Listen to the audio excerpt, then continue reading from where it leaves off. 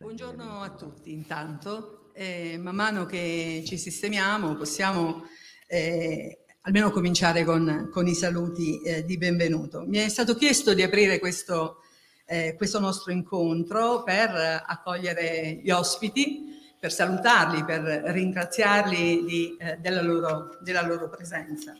Ehm, voglio intanto mh, salutare a nome dell'Istituto Galanti e eh, a nome del preside, che poi lo farà lui personalmente, il nostro dirigente, il professor Di Tullio, voglio ringraziare eh, il giornalista e scrittore Paolo De Chiara e il nostro ospite, eh, il dottor Giuseppe Antoci, per questa presenza autorevole e significativa Eh, aspettavamo qualcuno eh, che arriverà magari eh, in prosieguo. Eh, comunque abbiamo da parte di, tutti, di, tutte le rappresentanze istituzionali, a cominciare dall'ufficio regionale, eh, dalla regione, la provincia, il comune, eh, i saluti e gli auguri per questo nostro incontro. Ehm,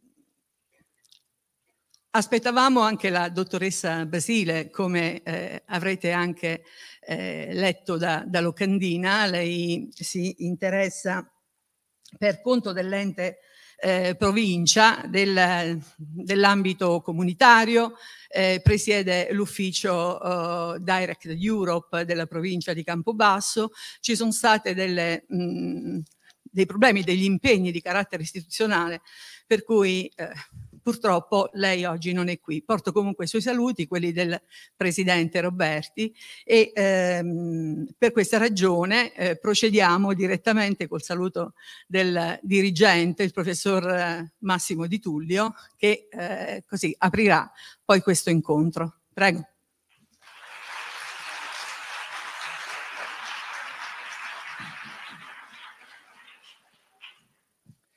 Grazie, non so se posso tenere la mascherina, si sente? Sì, benissimo. Se no avrei anche potuto cambiare mascherina, ne ho due o tre, a seconda del filtro che dobbiamo creare. Eh, io cerco sempre di tenere l'ambiente quanto più possibile sereno, tranquillo, ci provo a scuola come ci provo in questa occasione. Grazie davvero ehm, al nostro ospite, al presidente Antoci, io vedo questo momento come un momento davvero particolare per noi. Permettetemi di dirlo anche simbolicamente particolare. È la prima volta dopo due anni che riusciamo a fare e a realizzare un evento di questo tipo. È la prima volta che possiamo portare le classi in un uh, teatro o comunque in una sala uh, a qui a Campobasso questo silenzio mi piace tanto, ragazzi. Significa concentrazione, significa attenzione, significa rispetto e per il tema che stiamo trattando e per le persone che evidentemente eh, sono coinvolte e che lo tratteranno. Allora, cosa dire? Come è nato questo evento? È nato in una maniera semplicissima. Eh, la collega del, quindi il rettore del convitto Mario Pagano, diciamo 300 metri da qui, mi ha detto uh, stiamo cercando, insomma comunque aveva già realizzato al convitto un evento di, di questo tipo, ha detto vorremmo uh, ripeterlo in qualche scuola qui di Campobasso, ho pensato alla vostra scuola. Se devo essere sincero, all'inizio un minimo di timore, perché noi purtroppo siamo bombardati dai problemi della sicurezza e allora un minimo di timore, un tentennamento per due ore, diciamo, quel pomeriggio l'ho avuto. Poi ho avuto tutte le rassicurazioni, a parte da lei, dal, um, da Sergio Calce, che è stato un po' il, il um, contatto, diciamo, l'intermediario con il presidente Antoci. Alla fine mi sono tranquillizzato, insomma, stamattina fra quello che c'è in sala e quello che c'è fuori, evidentemente possiamo stare assolutamente tranquilli. Come ci siamo organizzati? Noi abbiamo pensato di fare così. Le classi quinte, quindi i ragazzi grandi, tutti quanti qui in presenza e sono uh, circa, circa, circa, però in senso uh, piuttosto in, in, in, difetto, sui 150, vabbè siamo precisi, 154, vabbè, lo diciamo proprio. Mentre sono collegati in streaming eh, sia i terzi anni che i quarti anni, quindi un totale diciamo di circa 450 ragazzi dalle aule della scuola. Quindi abbiamo su in regia eh, i docenti che si occupano di queste cose, quindi c'è Pierluigi Armagno, eh, Angelo Iannone, c'è il tecnico Emilio eh, Di Bartolomeo e gli altri due assistenti tecnici della scuola, abbiamo pensato di fare così, coinvolgendo i ragazzi più grandi poi in effetti, quindi il triennio. Non abbiamo coinvolto tutte le classi perché avevamo paura che la rete scolastica potesse non reggere e allora ci siamo mantenuti così. Però contemporaneamente eh, si può vedere questo evento in streaming dal nostro sito, rimarrà comunque registrato e quindi le classi potranno vederlo anche in differita, diciamo, in un secondo momento. Uh, cos'altro dire? Penso che per i ringraziamenti ci penserà la professoressa Barone, io non sono tanto bravo, ringrazio ovviamente in queste cose, ringrazio ovviamente eh, tutti. Abbiamo l'ultima cosa, sono contento che abbiamo fatto la scelta di eh, realizzare questo evento al chiuso perché eravamo un po' indecisi anche con Sergio Calcio, facciamo all'aperto nel cortile, lo facciamo al chiuso. In effetti il rischio pioggia c'è, quindi eh, fortunatamente abbiamo fatto questa scelta e le cose stanno andando bene così. Eh, grazie infinite a tutti e ora lascio la parola alla professoressa Barone che così completa i ringraziamenti. Buon ascolto. Ragazzi, ovviamente mi rivolgo a voi perché poi il tutto è indirizzato a voi. Noi conosciamo assolutamente la vostra serietà e il vostro interesse. Non dimentichiamo che il gruppo dei docenti di educazione civica hanno introdotto il tema nella, eh, nella, nelle varie classi. Ormai l'educazione civica è obbligatoria nelle scuole e, eh, ed è stato ovviamente inserito e preparato l'incontro anche nel, in tutte le classi dell'istituto. Quindi contiamo ovviamente sulla vostra assoluta attenzione, ma siamo sicuri che sarà così. Grazie a tutti.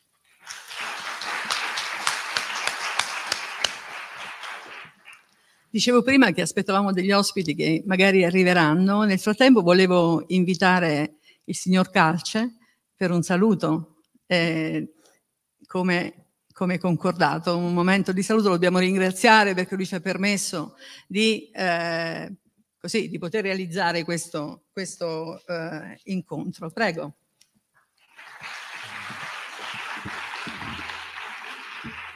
Buongiorno, non, è, non bisogna ringraziare, ringrazio io voi perché state dando un'opportunità a oltre 400 ragazzi a questo incontro, confronto su dei temi importanti del presente e del futuro.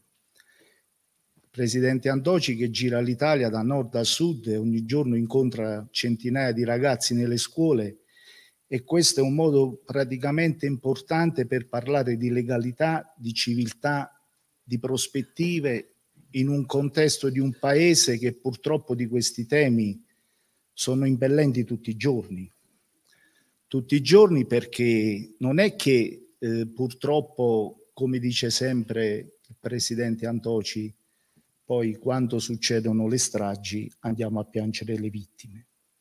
Questo va evitato, io sono contentissimo che lui oggi sia qui, viene spesso in Molise a trovarci, è un punto di riferimento importante, perché questo dialogo di stamattina servirà a fare un ragionamento per i ragazzi che poi torneranno a casa e sicuramente valuteranno e parleranno con i genitori, con altri amici, con altri colleghi, di una giornata importante. Perché vedete, io penso che la legalità è un fenomeno importante sia in Italia che in Europa. Dico in Italia perché prima di legalità si parlava sempre individuando Campania, Sicilia e Calabria. Oggi purtroppo le mafie sono estese in tutto il territorio nazionale. L'andrangheta fa gli affari al nord. L'andrangheta purtroppo è il terzo gruppo in Italia dopo Fiat e Finmeccanica. Parliamo di argomenti seri, di argomenti concreti che purtroppo, e chiudo, dovrebbe interessarsi anche molto di più, scusate se lo dico, la politica, perché io penso che legalità e sviluppo è un connubio che devono camminare insieme. Buon convegno, ragazzi, buone cose e in bocca al lupo a tutti.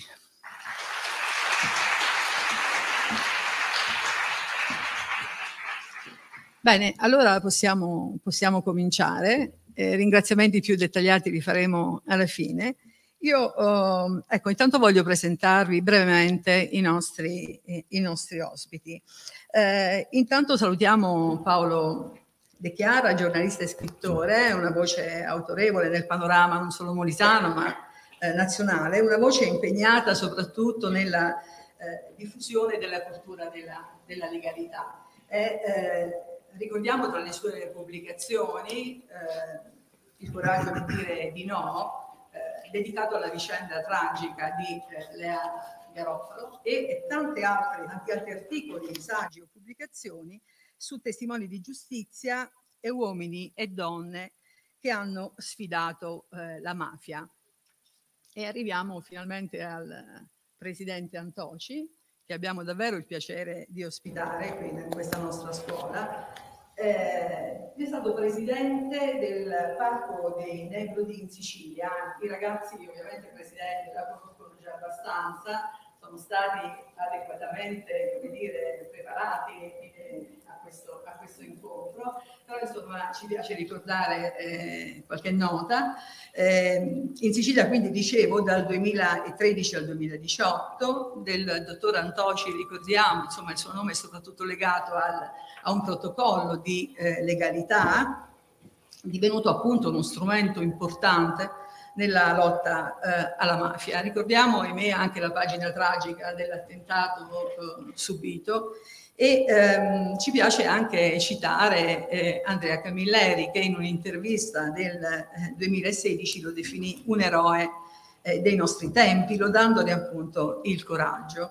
E, ehm, gli sono state conferite moltissime onorificenze, tra le tante ricordiamo quella di eh, ufficiale al merito della Repubblica Italiana, consegnatagli nel 2017 dal nostro presidente Sergio eh, Mattarella. Mi fermo e mi siedo anch'io per l'ascolto. C'è qualcuno che mi chiama?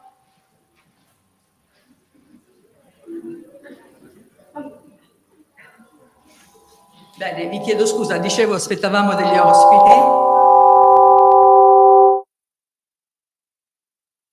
suggeriva eh, il nostro solerte dirigente eh, di dare il benvenuto all'assessore Praetano in rappresentanza del sindaco, quindi del comune di, di Campobasso e eh, la dottoressa Ecco, voglio essere puntuale perché altrimenti la dottoressa Elvira Nuzzolo, vicario del prefetto di Campobasso. Grazie tante, buon ascolto a tutti.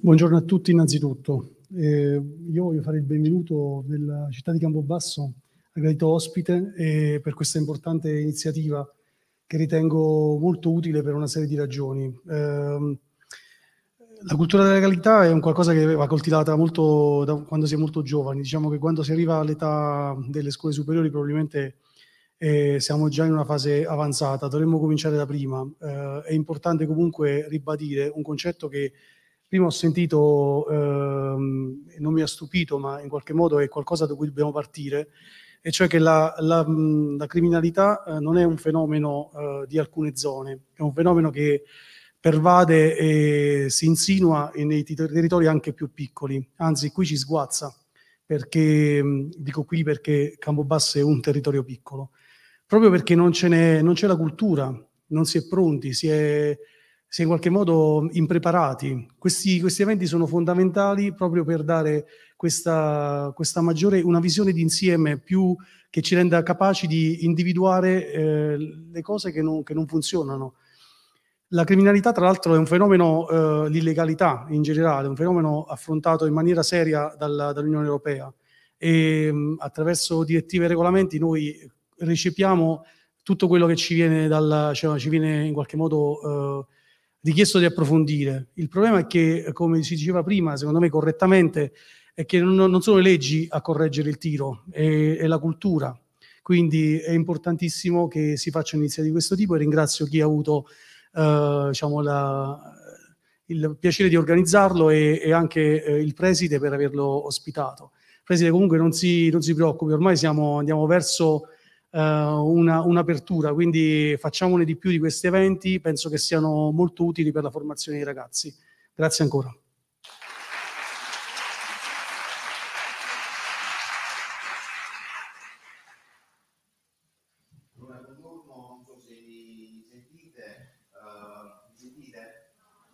Poco, allora chiedo, perfetto, perfetto. Allora buongiorno Presidente, buongiorno a voi ragazzi, grazie per la vostra presenza, grazie al dirigente e ai suoi collaboratori perché queste sono iniziative come il Presidente Antoci sa, conosce perché ha un legame forte con i giovani, con i ragazzi, con le scuole e, e lo diceva Paolo Borsellino, no? il magistrato uh, morto, ammazzato in Mia D'Amelio uh, il 19 luglio del 1992, parlatene sempre, parlatene in televisione, per radio, parlatene anche nelle, nelle scuole tra i giovani che non sono il futuro come dicevamo prima, ma sono, rappresentano il presente. Quindi attenzione alle parole, cominciamo a dare un senso alle parole, come quest'altra parola che in questa regione continua, no? uh, prima in quasi tutti gli interventi, no? Sergio, uh, l'assessore, eh, il preside, no? questa, questa balla che ci continua a raccontare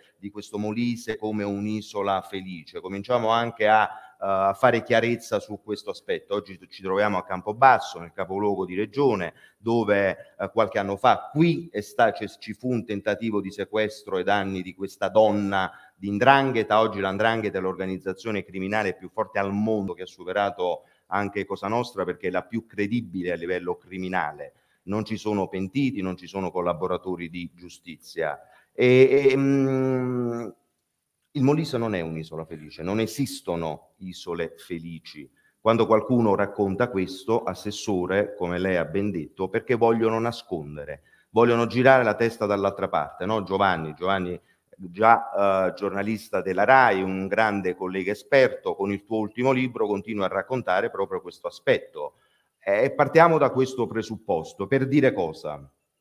Che non sono problemi che riguardano soltanto luoghi dove la criminalità è presente come la Sicilia per quanto riguarda Cosa Nostra, la Calabria per quanto riguarda l'Andrangheta, la Basilicata per quanto riguarda i basilischi, eh, la, la, la, Campania per quanto riguarda la Camorra e, e, la Puglia per quanto riguarda le altre organizzazioni criminali, lì c'è ampia scelta. No? Abbiamo le mafie foggiane, noi confiniamo con Foggia, abbiamo i, i, i, eh, i Bari che è stata suddivisa, suddivisa in quartieri e comandata dai vari, dai vari boss. Questo è un problema secolare. Passo subito la parola perché è interessante ascoltare il pensiero e l'esperienza di uh, Giuseppe Antoci, che al contrario di altre persone ce la può raccontare direttamente. Oggi possiamo ascoltare uh, dalla voce dei parenti delle vittime, no? ascoltiamo Salvatore Borsellino, ascoltiamo Maria Falcone, ascoltiamo uh, la figlia di Luigi Lardo, perché faccio l'esempio di Luigi Lardo, dopo tocchiamo perché se avessero arrestato nel 95 a mezzo Iuso Provenzano forse la storia di questo paese sarebbe diversa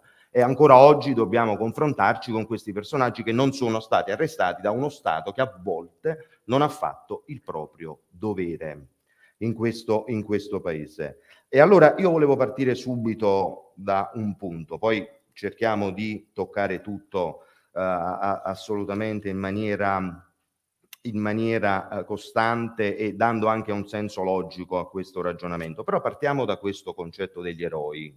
Allora, Andrea Camilleri è un grande scrittore, un grande personaggio, l'abbiamo conosciuto, continuiamo a vedere i, i, i suoi racconti no, trasformati attraverso il personaggio mh, mm, di, di, di, del commissario eh, Montalbano, però io vorrei partire da questa parola, l'eroe. Brecht diceva eh, sventurato quel paese che ha bisogno di eroi, uh,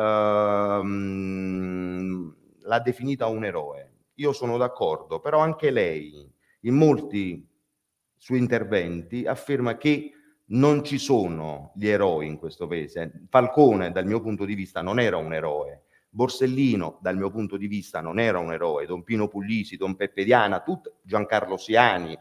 Qui, prima lei, perché in questo libro, come diceva il dottor Antoci, c'è un legame anche con Campobasso, poi ce lo dirà lei. Qui abbiamo avuto un magistrato, eh, ex eh, capo della Procura della Repubblica, del, qui, della Procura della DDA, eh, della direzione distrettuale antimafia, che fu il magistrato, il PM, che a Napoli arrestò dopo 15 anni gli assassini di Giancarlo Siani, giornalista che a 26 anni venne ammazzato, venne sparato in testa perché faceva semplicemente il proprio dovere. Scriveva di Camorra, da Torre Annunziata e dalla redazione di Napoli. In questa regione abbiamo anche un personaggio, e queste cose le dobbiamo dire, altrimenti continuiamo a perdere tempo e facciamo perdere pure a loro, che nonostante una condanna definitiva, perché portava delle armi in carcere, oggi è un eletto in questa regione. Quindi ci sono queste, queste situazioni strane che non sono di buon esempio per i ragazzi. Però partiamo da questo concetto. Che cos'è l'eroe? Questo paese ha bisogno di eroi o ha bisogno di persone che facciano semplicemente il proprio dovere? Intanto buongiorno, buongiorno, buongiorno ragazzi, buongiorno, che bello.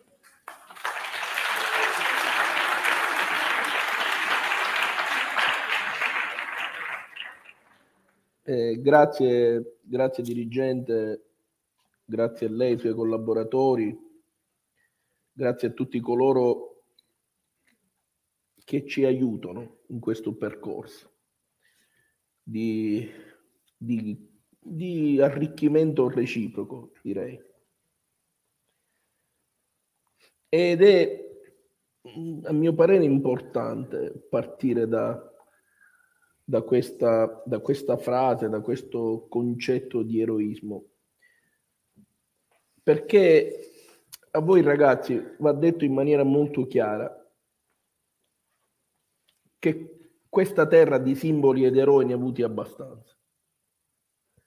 Noi dobbiamo ripartire dalla normalità.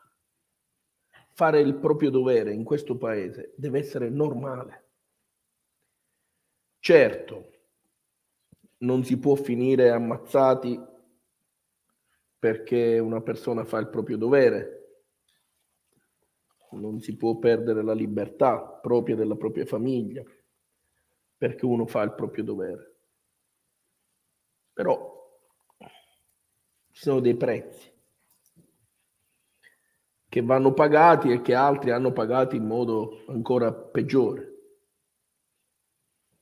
Vedete, quando io ascoltai l'intervista di Camilleri qualche giorno dopo, me la segnalarono, io non conoscevo Camilleri, eh, lo conoscevo ovviamente come grande maestro e scrittore di questo paese, e allora eh, lo contattai per andarlo a trovare. Lo andai a trovare a Roma, a casa sua. E questo personaggio alla, alla imitazione di Fiorello, no? che ti butta il fumo addosso mentre fuma. E io gli dissi, maestro, mi spiace, ma io le devo dire che io non mi trovo d'accordo con questo concetto dell'eroe. E allora lui come un insegnante che parla a un alunno, perché io in quel momento mi, così mi sentii, mi disse, eh, allora non sei stato attento, perché io ho proseguito quella frase e ho detto, Antoci è un eroe dei nostri tempi perché fa quotidianamente il proprio dovere. Ecco, un concetto di eroe che viene eh, superato da quest'altra frase, quasi a farlo, a, a sminuirlo giustamente a tal punto da portare ad una riflessione sul concetto del fare il proprio dovere ogni giorno. Perché, vedete ragazzi, il tema non è la lotta alla mafia, alle mafie, il tema non è mettersi in gioco per portare avanti un semplice argomento in un contesto di varie lotte sulla, tra virgolette, il concetto della correttezza di ognuno di noi. Qui il tema è il dovere di cittadinanza. E allora la normalità di essere dei buoni cittadini supera tutto questo, eh, va avanti, diventa un dovere civico dal quale nessuno può sentirsi escluso. Vale per noi, vale, vale per i nostri insegnanti, vale per voi, per le istituzioni. Quasi a far diventare questo concetto di Stato dove, attraverso il quale a volte molti si nascondono pensando, eh, ma a questa cosa ci deve pensare lo Stato. Come se lo Stato fosse un'altra cosa, forse la magistratura, le forze dell'ordine, vicario come se dovesse essere il prefetto, la prefettura, solo quel mondo. E invece noi oggi siamo un pezzo di Stato qui. Ci stiamo ritagliando un pezzettino di responsabilità tentando di fare squadra ed essere Stato. In questo concetto di eroismo c'è tutto questo mondo, che è un mondo di normalità, che è un mondo fatto di tante persone fuori Antoci che nel silenzio denunciano chi gli chiede il pizzo, che poi esce e se li trova per strada. Ci sono le persone che quotidianamente pensano che i fondi pubblici, se c'è una normalità, non possono andare alle mafie, ma devono andare alle persone per bene. In questo concetto di eroismo c'è il concetto solo della normalità, certo. E questo mi consente di ringraziare le forze dell'ordine presenti, gli uomini della mia scorta della questura di Campobasso che spesso qui mi seguono.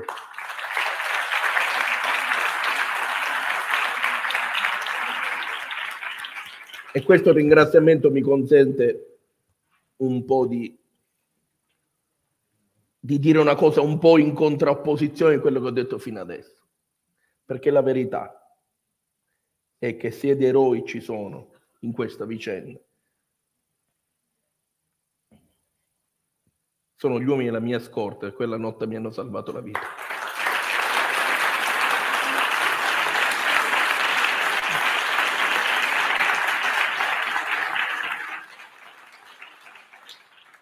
Presidente, affrontiamola subito questa notte.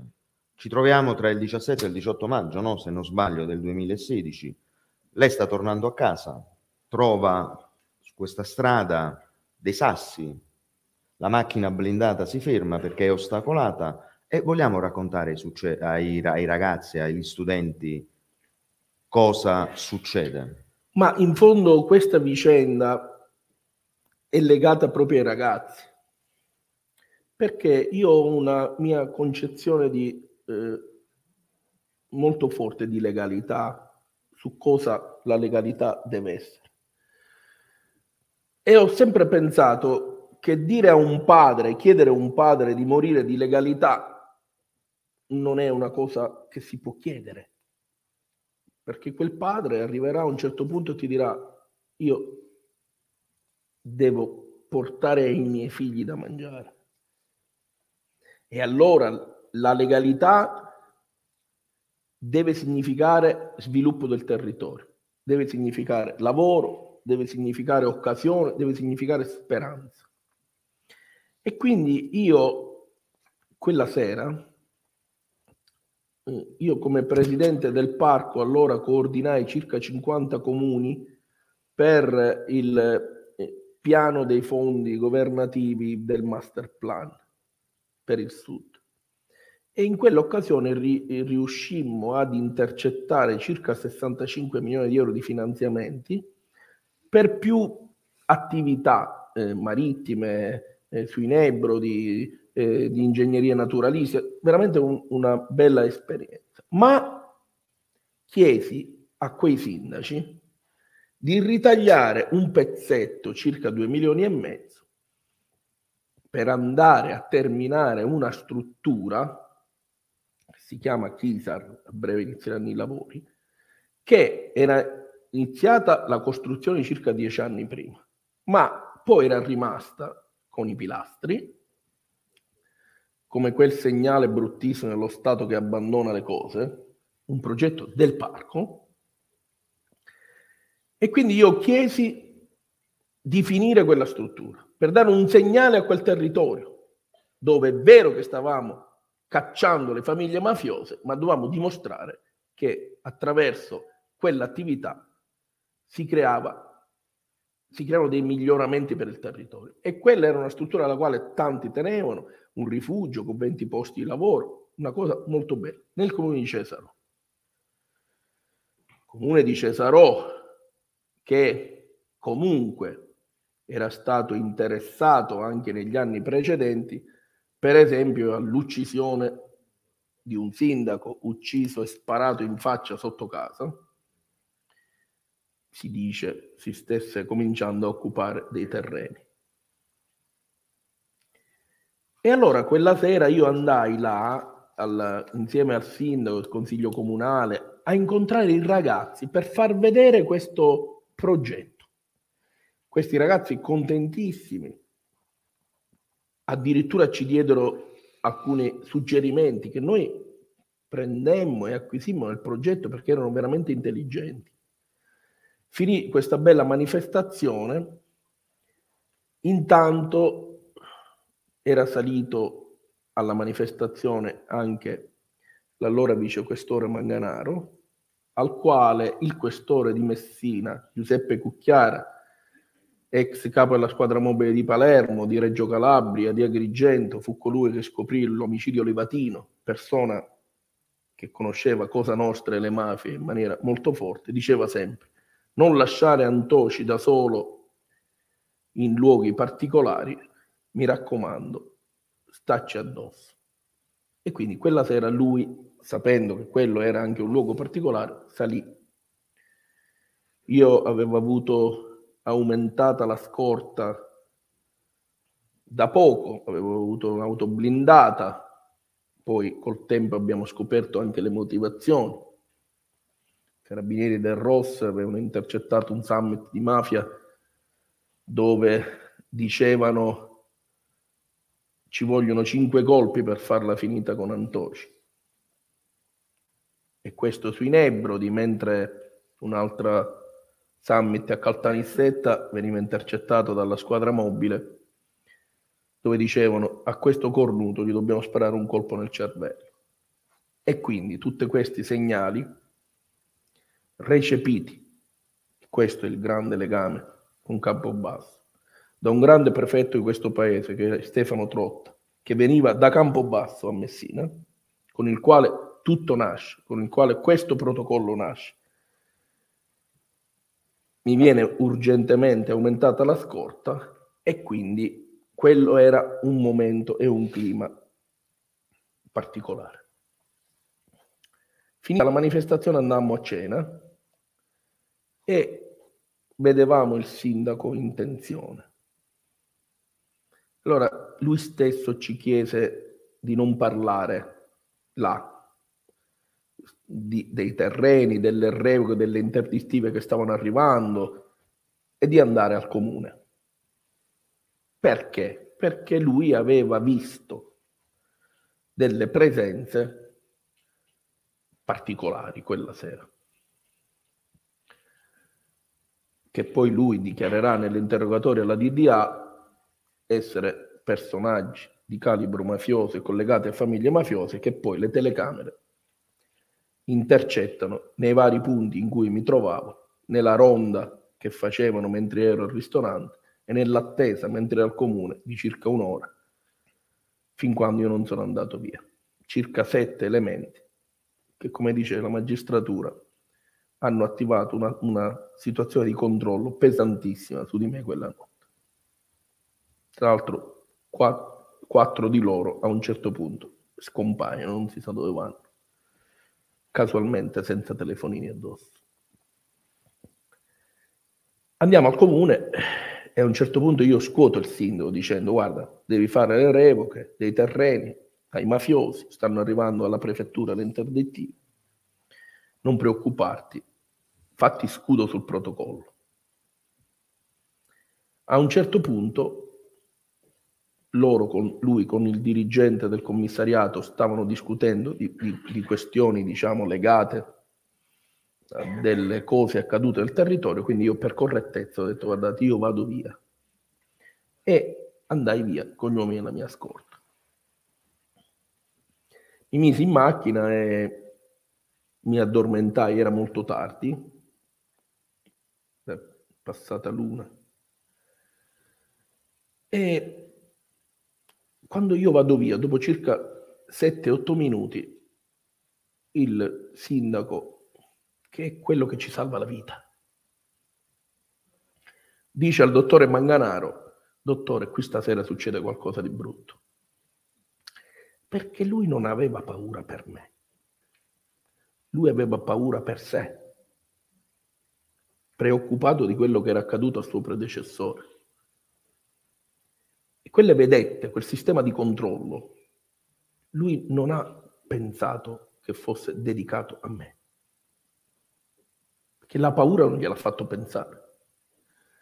Quando dice questa frase a Manganaro, Manganaro, da sbirro e poliziotto, dice se l'obiettivo non è il sindaco, ma è Antoci che è andato via adesso. Per cui accompagna il sindaco fino a un certo punto vicino casa e gli dice, sindaco, quando entra a casa mi mandi un messaggio che è tutto a posto, io vedo di andare eh, a, a, recuperare e eh, a raggiungere il presidente Antoci. E comincia a correre per cercare di raggiungermi. Intanto il sindaco arriva a casa e manda un messaggio a Manganaro dicendo sono a casa, ma manda un messaggio anche a me e mi scrive ti chiedo perdono, amministro una comunità complicata. Io questo messaggio lo vedo dopo l'attentato e lo vedo insieme a centinaia di messaggi, per cui lo prendo come un messaggio di solidarietà. La magistratura mi fa vedere che quel messaggio è stato, è arrivato al mio telefonino 20 minuti prima dell'attentato. Manganaro corre, intercetta i fari della Tesla blindata e dice a Granata che lo accompagnava oh meno male, ecco la, la macchina del presidente. Certo che il sindaco ci ha fatto prendere una bella paura. Gira la curva, intanto noi arriviamo questo rettilineo dove le due carreggiate sono in base da massi, il tempo che i ragazzi della scorta dicono ma cosa sono queste pietre? E io a quel punto è quella la frase che sento, apro gli occhi. È chiaro che in una strada, tra virgolette, seppur provinciale, comunque scende dai Rebro, monta- può isolata, accadere, no? eh? Era una strada isolata, era un luogo isolato. Sì, certo. E può accadere una frana, ma il tempo di arrivare e dire queste parole, io comincio a sentire dei colpi fortissimi, come se fossero in quel momento colpi di pietra, sono stati secondi, ed erano invece delle fucilate. Loro erano già appostati sotto un muretto, salgono, sparano tentando di colpire la ruota posteriore sinistra, Intanto l'autista si era un po' allontanato qualche centimetro dalle pietre, arrivando. Perché l'obiettivo era quello di rendere la macchina non marciante e poi dare fuoco all'auto con le Molotov che poi sono state ritrovate. La eh, tecnica utilizzata per ricostruire l'attentato di Via D'Amelio e quello dei Nebrodi una tecnica innovativa, un fiore all'occhiello per, per l'Europa, studiata in Italia e attivata per la prima volta per i due attentati, quello nostro sui Nebridi e quello di Via D'Amelio a Borsellino, ha sostanzialmente accertato che l'attentato era tecnicamente riuscito. Noi non ci potevamo salvare. Ma gira la curva e Manganaro e Granata trovano questi qua in tuta mimetica che sparano contro l'auto. Lì nasce un conflitto a fuoco. Quando i, i ragazzi della mia scorta vedono i fari dell'auto arrivare dietro, la prima cosa che pensano, non potendo sapere delle parole del sindaco, è che quella fosse un'altra macchina dell'agguato che richiudeva. Quando sentono sparare e gridare polizia, capiscono che sono degli aiuti, quindi anche loro scendono e cominciano a sparare. È chiaro che gli attentatori non sapendo di queste parole del sindaco, non sapendo di questa coincidenza che ci salva la vita, la prima cosa che pensano, da noi si dice se qualcuno se l'è cantata, cioè qualcuno ha svelato l'attentato. Quindi psicologicamente si sentono invasi da forze dell'ordine. E quindi dopo i primi conflitti a fuoco, dopo i primi gra- primo grave conflitto a fuoco, eh, il dottore Manganaro, oggi primo dirigente e promosso insieme agli altri per merito straordinario con medaglia al valore, di tutto questo dice solo una, una cosa, racconta solo una cosa, il fischio. Il fischio di quel pallettone che gli passò vicino all'orecchio. Quel fischio. Vedete, Io non sarò mai più la stessa persona che ero fino al 17 di maggio del 2016. Non lo sarà più, non lo saranno più gli uomini della mia scorta, le nostre famiglie. Forse direttore non lo sarà più neanche questo paese che si stava svegliando ancora con un'altra strage di mafia. Ma se oggi noi dovessimo pensare a come eravamo e come siamo, se io dovessi pensare che nel 2014 ero un uomo libero, un padre libero, una famiglia libera, io ho un regime di sicurezza fra i più alti in Italia, ho casa presidiata all'esercito, con le mie figlie che vanno a scuola accompagnate dalle forze dell'ordine.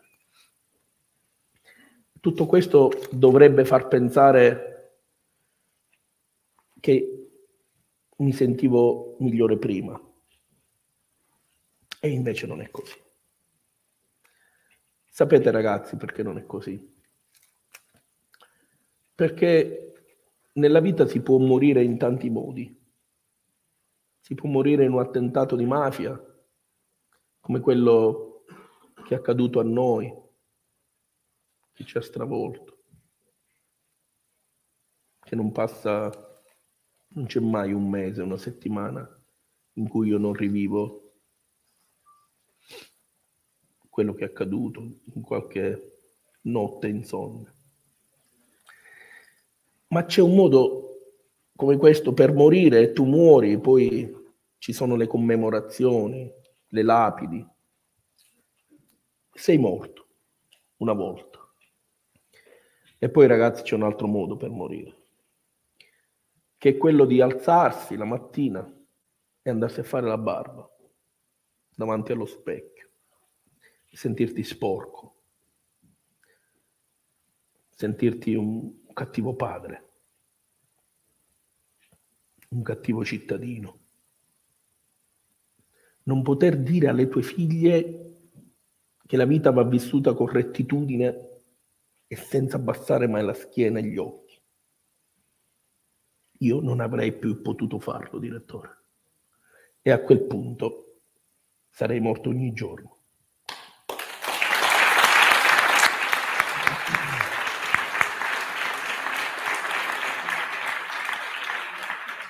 E come vedete, tornando al concetto di eroe, certo. che eroismo c'è davanti a un padre che vuole essere a posto con la propria coscienza, con la sua famiglia, con le sue figlie. E allora, se il prezzo da pagare è questa vita complicata, eh, è di non essere più e di vivere anche. Io sono una persona che ovviamente ha paura, io non mi vergogno di dirlo. Se tutto questo ha questo senso, se oggi questi vostri sguardi, questa vostra attenzione ha il significato di chi mh, mm, è chiaro, sono momenti difficili, alti, bassi. Come io da ragazzo, come voi ragazzi, nel motorino mettevo sempre la benzina, quella che bastava, eh. allora ogni tanto arrivava il rosso, e allora quale, subito cosa cerchi? Un rifornimento. E allora questa lancetta rossa che ti fa venire l'ansia di rimanere a piedi, come si dice, no? E quindi ogni tanto la lancetta mi arriva al rosso. però poi vengo qui, ci siete voi e faccio il pieno.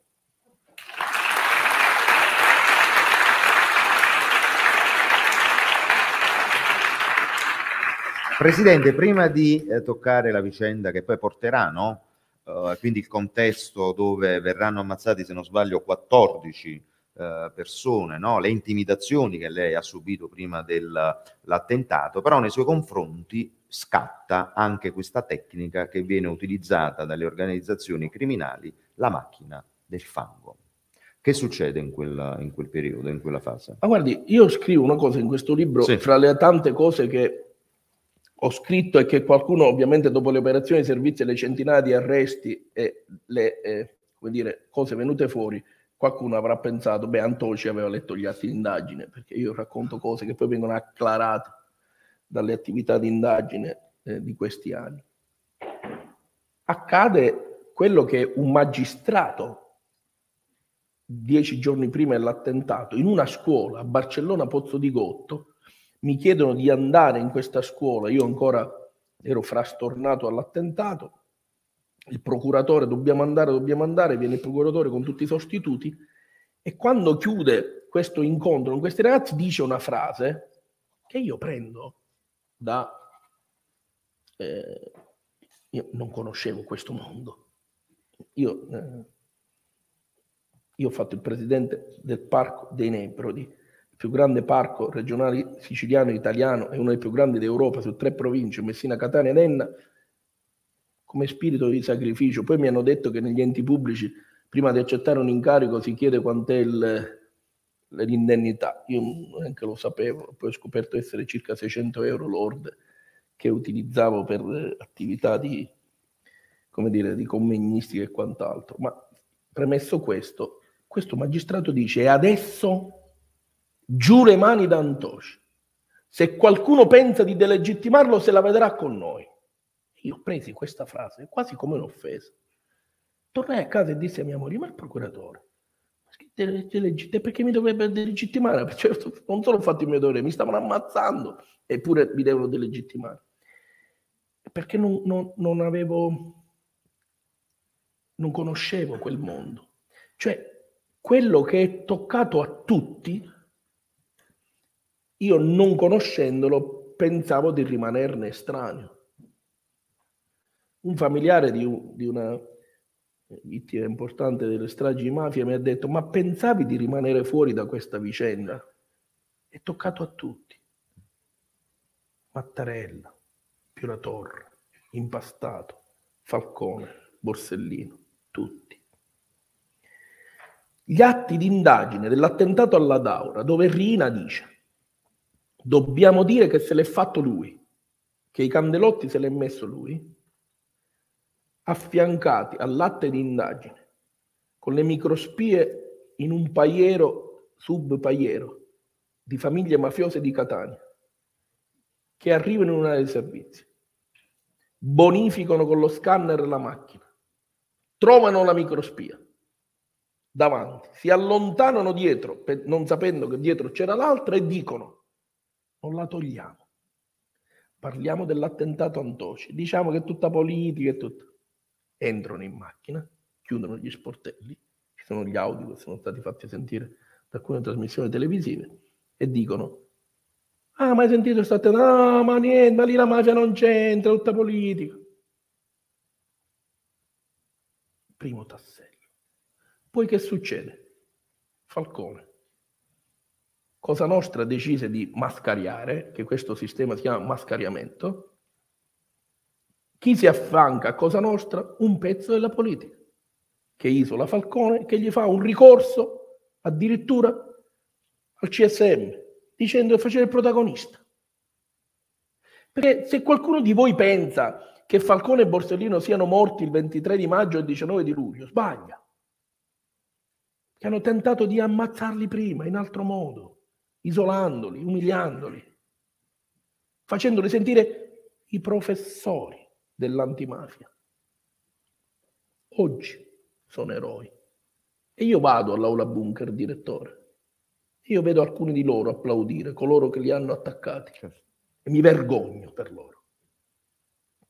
Allora, Questo è accaduto. Hanno tentato di fermarmi. Come? Primo, io vi ho detto con il regime di sicurezza che abbiamo, noi usciamo raramente. Era il 23 di luglio del 2016. Dovevamo andare a un matrimonio del figlio di un carissimo amico. Io aspettavo l'ok delle bonifiche, che quando mi muovo creo un po' di scompiglio. A un certo punto mi stavo vestendo, arriva una telefonata e dice, ma hai sentito, hai letto cosa c'è sulla stampa? Cosa c'è, dico? Leggi, leggi, leggi. Allora, mia moglie si chiama di cognome Rampulla. Chi sono i Rampulla in Sicilia? I Rampulla sono i fratelli Rampulla Sebastiano. Rampulla per primo, col fratello, che capi mafia, capi mandamento, coinvolti nella strage di Capaci, cioè coloro che hanno fornito il telecomando. Quindi noi stiamo parlando mia fede. Siccome non la voglio offendere dicendo una sua collega, quindi evito di dire una persona scrive la moglie dell'eroe dell'antimafia Antoci, questo era il titolo, nipote dei, dei, di Maria Rampulla, sorella dei fratelli Rampulla, artificieri di stragi capaci. Come fa Antoci a fare antimafia, la mafia dentro? Ovviamente mia moglie, neanche lontana parente, quelli erano di un altro territorio. Il risultato è che noi invece di andare al matrimonio siamo venuti all'ospedale, perché mia moglie, che si era vista sbattere sulla stampa a 40 anni, è diventata piena di bolle rosse con i battiti impazziti. E io, direttore, non faccio differenze, perché io mia moglie è lettino all'ospedale non me la scordo, fra chi mi ha sparato quella notte e per chi ha fatto quello, e anche altro.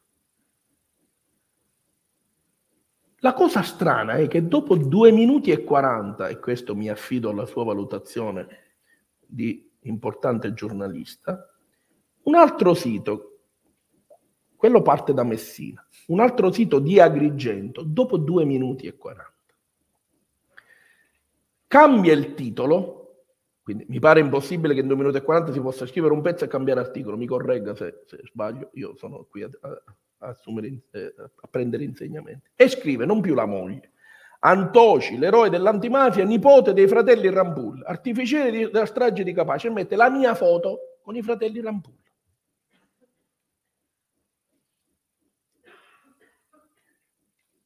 è chiaro che il minimo che uno può pensare è che erano d'accordo, perché altrimenti il tempo non c'era. Al di là che questi signori sono stati condannati alla magistratura,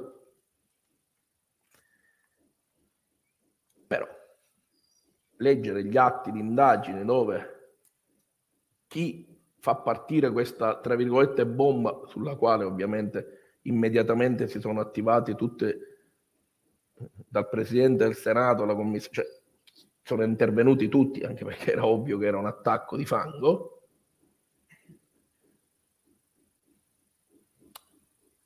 Questa persona registrata dice, ah ma me l'hanno detto di fare questa cosa due avvocati che sono legali di, dei mafiosi ai quali Antoci ha fatto danno. Avete capito come funziona.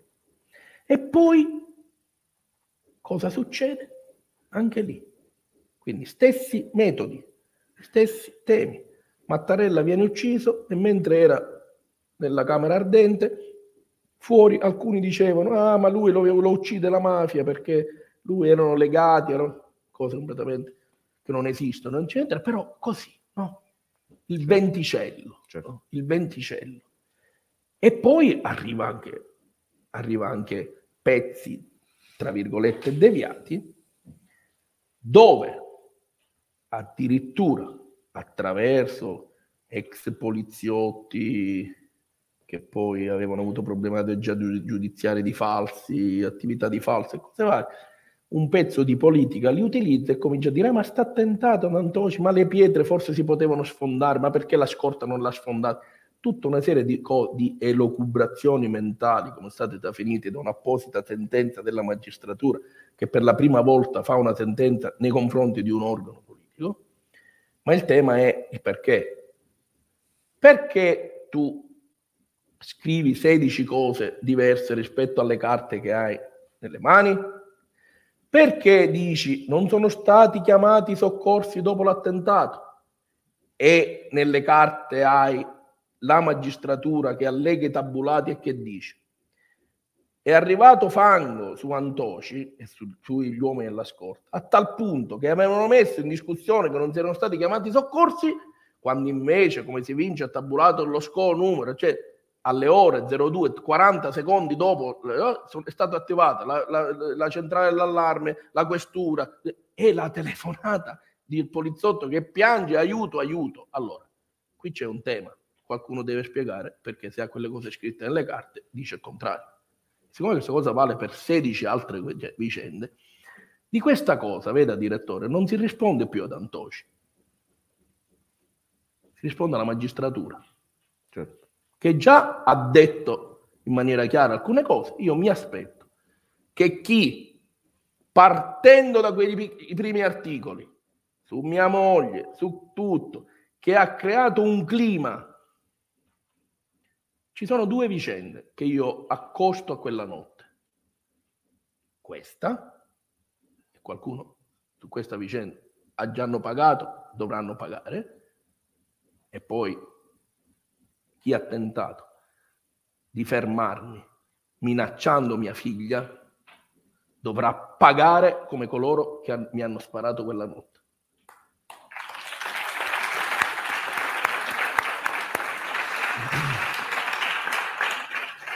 Presidente, arriviamo a questo protocollo, però io voglio nominarli queste 14 persone perché è giusto ricordare la memoria importante nel paese senza memoria eh, è giusto ricordare questi morti ammazzati. 1991, novembre del 1991, viene ammazzato l'allevatore Benedetto Morello. Il 14 maggio del 92 l'ex sindaco di Cesarò, Calogero Palmiro Calaciura, nel, con cinque colpi di lupara. Nel 1992 viene ammazzato Sebastiano Sanfilippo Tabò. Il 4 gennaio 2000 Giuseppe Savoca, trovato carbonizzato dai carabinieri. Il 20 settembre dello stesso anno, quindi del 2000, l'allevatore Paolo Carroccio, trovato cadavere. Agosto 2001 scompare Mario Attinà. Settembre 2001 il bracciante Francesco Costanza viene freddato con quattro colpi di pistola. E leggo anche quest'altro passaggio perché ritorniamo al punto iniziale. L'omicidio sarebbe stato ordinato direttamente da Bernardo Provenzano non arrestato nel 1995 da Mezzoiuso, lì davanti c'era lo Stato, decise di non arrestare il latitante Bernardo Provenzano. 17 ottobre del 2001 il, i killer puntano l'allevatore Carmelo Triscari Barberi che riesce a salvarsi. Il 3 giugno del 2002 due killer esplodono diversi colpi di fucile caricato a pallettoni e uccidono il bracciante Bruno Sanfilippo Pulici o Pulici. 6 dicembre 2002 Francesco Conti Taguali viene investito da una scarica di colpi sparati da soggetti incappucciati. Il 4 agosto del 2003 viene trovato all'interno di un pozzo artesiano il cadavere sventrato da colpi d'arma da fuoco di Rosario Giuseppe Carcione. Il 15 settembre del 2005 i carabinieri intervengono in località eh, Candi, Candito, e tro, Candito e trovano il cadavere di Giuseppe Nicolosi. 15 dicembre del 2008 viene ucciso l'imprenditore Antonino Granza. 22 marzo del 2013 viene ammazzato con due colpi di pistola il guardia caccia Epifanio Zappalà. 2014 ucciso a colpi di fucile calibro 12 l'allevatore di San Teodoro Giuseppe Conti Taguali. Allora, leggere questo elenco, no? Dal 1991 sino al 2014, ci riporta alla memoria di quella mafia di Totoride Corleonesi con Leggio, eh, Ligio poi erroneamente eh, trascritto il cognome Ligio, Rina, eh, Provenzano, uh, quella mafia corleonese. E allora cosa è cambiato innanzitutto da quella mafia dei pascoli dell'epoca, anni 60, anni, 70, anni 50, anni 60 ad oggi? E lei come riesce a, a rompere il giocattolo? A togliere questo è stato il, il protocollo. Lei ha tolto i soldi, che sono, erano pure soldi puliti perché provenivano dall'Europa, le ha, le ha tolto i soldi alla mafia, un po' un concetto che esprimevano quei magistrati che lei ha citato poco fa. Ma guardate, questa vicenda non nasce perché io ho in mente di combattere la mafia. Io sono andato a fare presente un'area protetta. Cioè, l'ultima cosa che mi aspettavo è di trovarmi in una situazione di questa. Questa vicenda in fondo nasce per difendere alcuni allevatori e agricoltori del, del centro della Sicilia, di terreni, attenzione, che non erano del parco, ma erano dei comuni all'interno dell'area protetta. Però mi raccontano di questo clima di tensione, di minacce, di vessazioni che vivevano questi agricoltori, perché gli veniva vietato di partecipare ai bandi pubblici dei comuni per, sui terreni per l'affitto per il pascolo. Ma io dentro mi metto, ma perché? No, dice, non si può avvicinare eh, nessuno, devono, li vincono sempre loro. Siccome io penso che in ogni cosa ci sia una motivazione, e lì il patrimonio della mia vita, eh, io eh, faccio l'uomo d'azienda, eh, eh, il manager di un gruppo bancario, ovviamente i numeri sono numeri. E quando ho capito che cosa significava quello affare, ho capito perché c'erano queste attività. Perché quello era un affare che dava a chi investiva, tra virgolette, in quell'affare più del 2000% del ritorno dell'investimento, cioè neanche il mercato della droga, con una differenza, che le mafie sul mercato della droga hanno dei momenti, hanno il momento di, di, della eh, presa in carico, del trasporto, eh, dello spaccio, in tutti questi momenti, grazie a Dio, spesso arrivano le forze dell'ordine e intervengono. E quindi c'è una componente di rischio. Qui no. Qui arrivavano i bonifici bancari sui conti correnti dei mafiosi. Ma per capirci, ragazzi, eh, dici i mafiosetti. No. Gaetano Rina, fratello di Totò, le famiglie Santa Paola Ercolano, i reg- tutti i reggenti di Cosa Nostra della Sicilia, in Calabria, i Pelle, i Pesce, i Gallico, i Mancuso di Limbadi, in Puglia, cioè ovviamente scopriamo dopo, ma in quel momento questa vicenda nasce perché io volevo difendere quelli e dire ma scusa, ma perché non possono partecipare? Ma non avevo capito quello che oggi è chiaro e che viene definito come una delle fonti primarie di sostentamento delle mafie. Pensate che solo in Sicilia la programmazione precedente su questo settore è valsa 5,3 miliardi di euro. Allora voi ragazzi state, pensando sicuramente, scusi, ma Presidente, ci faccia capire, ma come può un mafioso del calibro delle persone che lei ha detto e non solo partecipare a un bando pubblico? vincere il bando e drenare risorse pubbliche. Semplice. Loro utilizzavano la legge dello Stato, la legge, la legge sugli appalti. Cosa dice la legge sugli appalti? Per importi superiori a 150.000 euro occorre il certificato antimafia, l'informativa antimafia rilasciata dalla prefettura, il vicario sa bene di cosa parlo, con apposite istruttorie delle forze dell'ordine, quindi è chiaro e evidente che quei soggetti non avrebbero potuto avere la certificazione. Sotto quella soglia bastava un'autocertificazione. Quindi questi signori, tra virgolette, a, autocertificavano di essere a posto le norme antimafia, proprio così. E quel silenzio di cui abbiamo parlato, all'interno del quale, che è il protagonista di queste vicende, di questi anni, di questi omicidi, c'è un pezzo di paura e un pezzo di connivenze, quel silenzio consentiva a queste istruttorie, cartelline con dentro le autocertificazioni di andare a finire all'ente pagatore che bonificava. Pensate che in una serie di arresti attivati in Calabria sull'argomento, sul protocollo e su tutto, si scopre addirittura che un, un patriarca di una famiglia di Indrangheta al 41 bis, mentre era al 41 bis, gli arrivavano regolarmente i fondi europei per l'agricoltura. E allora col prefetto Trotta cosa ci siamo detti? Qual è il problema? Una volta capito che loro avevano un metodo che io adesso vi dico.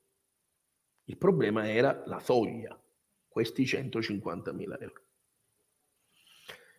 Perché loro il metodo che usavano qual era? Quello di costituire una società oppure ce l'avevano, mettere dentro 4-5 nomi di calibro mafioso nei soci seri. Qual era il primo effetto delle persone per bene, degli agricoltori per bene? Ah, ma io contro di quelli non mi ci metto. Quindi lesa maestà e quindi i bandi erano monopartecipati, incrementi di un euro, un euro e cinquanta e quindi vincevano sempre loro. Mentre col prefetto Trotta studiamo il protocollo, lo definiamo, il prefetto Trotta manda a tutti i comuni del parco, 25 comuni, la bozza del protocollo. Dopo 3-4 giorni, era una domenica, mi chiama il capo della squadra mobile di Enna e mi dice, Presidente, c'è il dottore Condorelli, sostituto procuratore, procuratore aggiunto della DDA di Caltanissetta, che le vorrebbe parlare. Allora io mi ricordo che dissi, guardi dottore, io domani sono a Roma per un impegno di lavoro, ci vediamo martedì. No, no, Presidente, inverta gli appuntamenti, annulli l'appuntamento di domani, lei domani deve venire in procura. E quindi io ho dovuto fare questo. Sono arrivato in procura, col dottore Condorelli abbiamo parlato del protocollo, di quello che stavo facendo.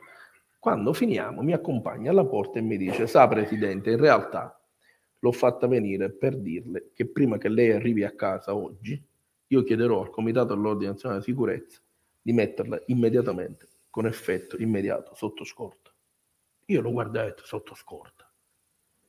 Io, dottore, ma Guardi che io, io ho una famiglia con tre figlie. Devo pure vivere con la mia famiglia. Lui mi guardò con quegli occhialini tondi, quegli occhi che non dimenticherò mai più, e mi disse, Presidente, all'ordine del giorno non c'è che lei viva con la sua famiglia, ma che lei viva. E vedete ragazzi, io da quel giorno sono passati sette lunghi anni, non sono più un uomo libero. E tornando a casa in macchina, con una paura tremenda, con una cosa enorme che mi aspettava, che non sapevo cosa significasse, del perché di tutto questo. Poi è chiaro che quando la DDA di Caltanissetta effettua 14 arresti per il protocollo di legalità con l'aggravante mafioso, escono fuori le intercettazioni e in quelle intercettazioni quel summit di mafia dice gli dobbiamo sparare nel cervello. Quell'elenco che si ferma al 2014 avrebbe avuto altri cinque nomi nel 2016. E in macchina io ho dovuto capire l'autostrada. Io ricordo quell'autostrada e io vedevo vivi, sempre. E dicevo, ma che faccio? Che strada prendo? E allora la scelta, ragazzi, era di mettermi, se la vedrà chi, ven- chi verrà dopo, oppure andare avanti. Però andare avanti come? E allora, come loro dicono in varie intercettazioni, anche ndranghetisti e quant'altro, sto cornuto di Antoci è più sbirro dei sbirri, dicono come se sbirro fosse, io che lo sono stato, uh, un'offesa, no? un'offesa, eh, non capendo invece che è un, una, un grande dire, privilegio esserlo. Allora il parco non aveva terreni, come vi ho detto, erano dei comuni, ma ne aveva uno di proprietà di 400 ettari, all'interno, co- attraverso il quale con l'Università di Palermo aveva creato una eh, attività biologica, scientifica importante È chiaro, dirigente, che l'ultima cosa che io potevo fare da presidente del parco è quello di mettere a bando quel terreno per il pascolo. Ma io lo metto al bando per il pascolo. E faccio scadere il bando, vicario, dieci giorni prima la firma del protocollo in prefettura del, del protocollo di legalità da parte dei comuni. Ho detto voglio vedere cosa succede. Bando, cosa succede? Metodo. Creano una società, mettono quattro nomi, bando monopartecipato, incremento 1,50 euro. Gli uffici, presidente, il bando è aggiudicato, dobbiamo fare l'assegnazione. No, no, gli ho detto, perché io di questa cosa non ne parlai con nessuno. Con nessuno. Tutti mi presero per pazzo, dice, ma sto pazzo mette a bando per il Pascolo il terreno con l'università. No, dico, no, no, visto che firmiamo il protocollo, il protocollo la settimana prossima, sarà l'occasione per chiedere la prima attività di controllo. Firmiamo il protocollo, l'indomani scrivo al prefetto DOT, ai sensi e per l'effetti dell'articolo 3 del protocollo, la, la prego di controllare società e nomi. Risultato. Quattro soci quattro interdittive antimafia, associazione di stampo mafioso, tentati omicidi, estorsioni, insomma. Eh, assessore, il migliore dei quattro, eh, eh, cioè non so, lo possiamo fare cittadino non è di Campobasso. Un, un disastro. Ovviamente, e questo poi si scopre nelle intercettazioni, loro prendono questa cosa come un sgam- uno sgambetto terribile e dicono, ah, ma questa cosa non la doveva fare. Però questa cosa cosa ha evidenziato? Ed è l'inizio. Che lo strumento, perché a quel punto il protocollo cosa prevedeva? Che quella soglia da 150.000 euro diventava zero, cioè tutti coloro che attivavano attività di affitti dei terreni pubblici all'interno del parco non avevano l'obbligo di presentare il certificato antimafia al di là della soglia. Quindi non solo firmiamo il protocollo, con questo bando civetta loro vengono fregati gli viene dimostrato che lo strumento è forte. E allora cosa fanno? Tentano di bloccare la norma attraverso la giustizia amministrativa, ovviamente con i milioni di euro che avevano i migliori avvocati e pongono il tema a terra dicendo la norma di Antoci col prefetto è un atto pattizio, non ha valore di legge, quindi chiediamo la sospensiva. Il TAR non solo non gli dà la sospensiva, ma nella rifiuto della sospensiva entra nel merito parlando di inquinamento mafioso, di condizionamento delle aziende. A quel punto loro capiscono quello strumento è devastante, ma ancora noi non avevamo capito cosa c'era veramente di introiti milionari e quanto questa vicenda non fosse una vicenda solamente siciliana. Ed è questo percorso, direttore, che diventa per loro un problema. Quando?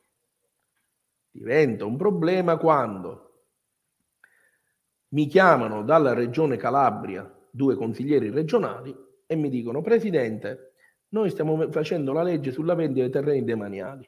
Come facciamo a mettere dentro il protocollo così evitiamo che vadano all'andrangheta?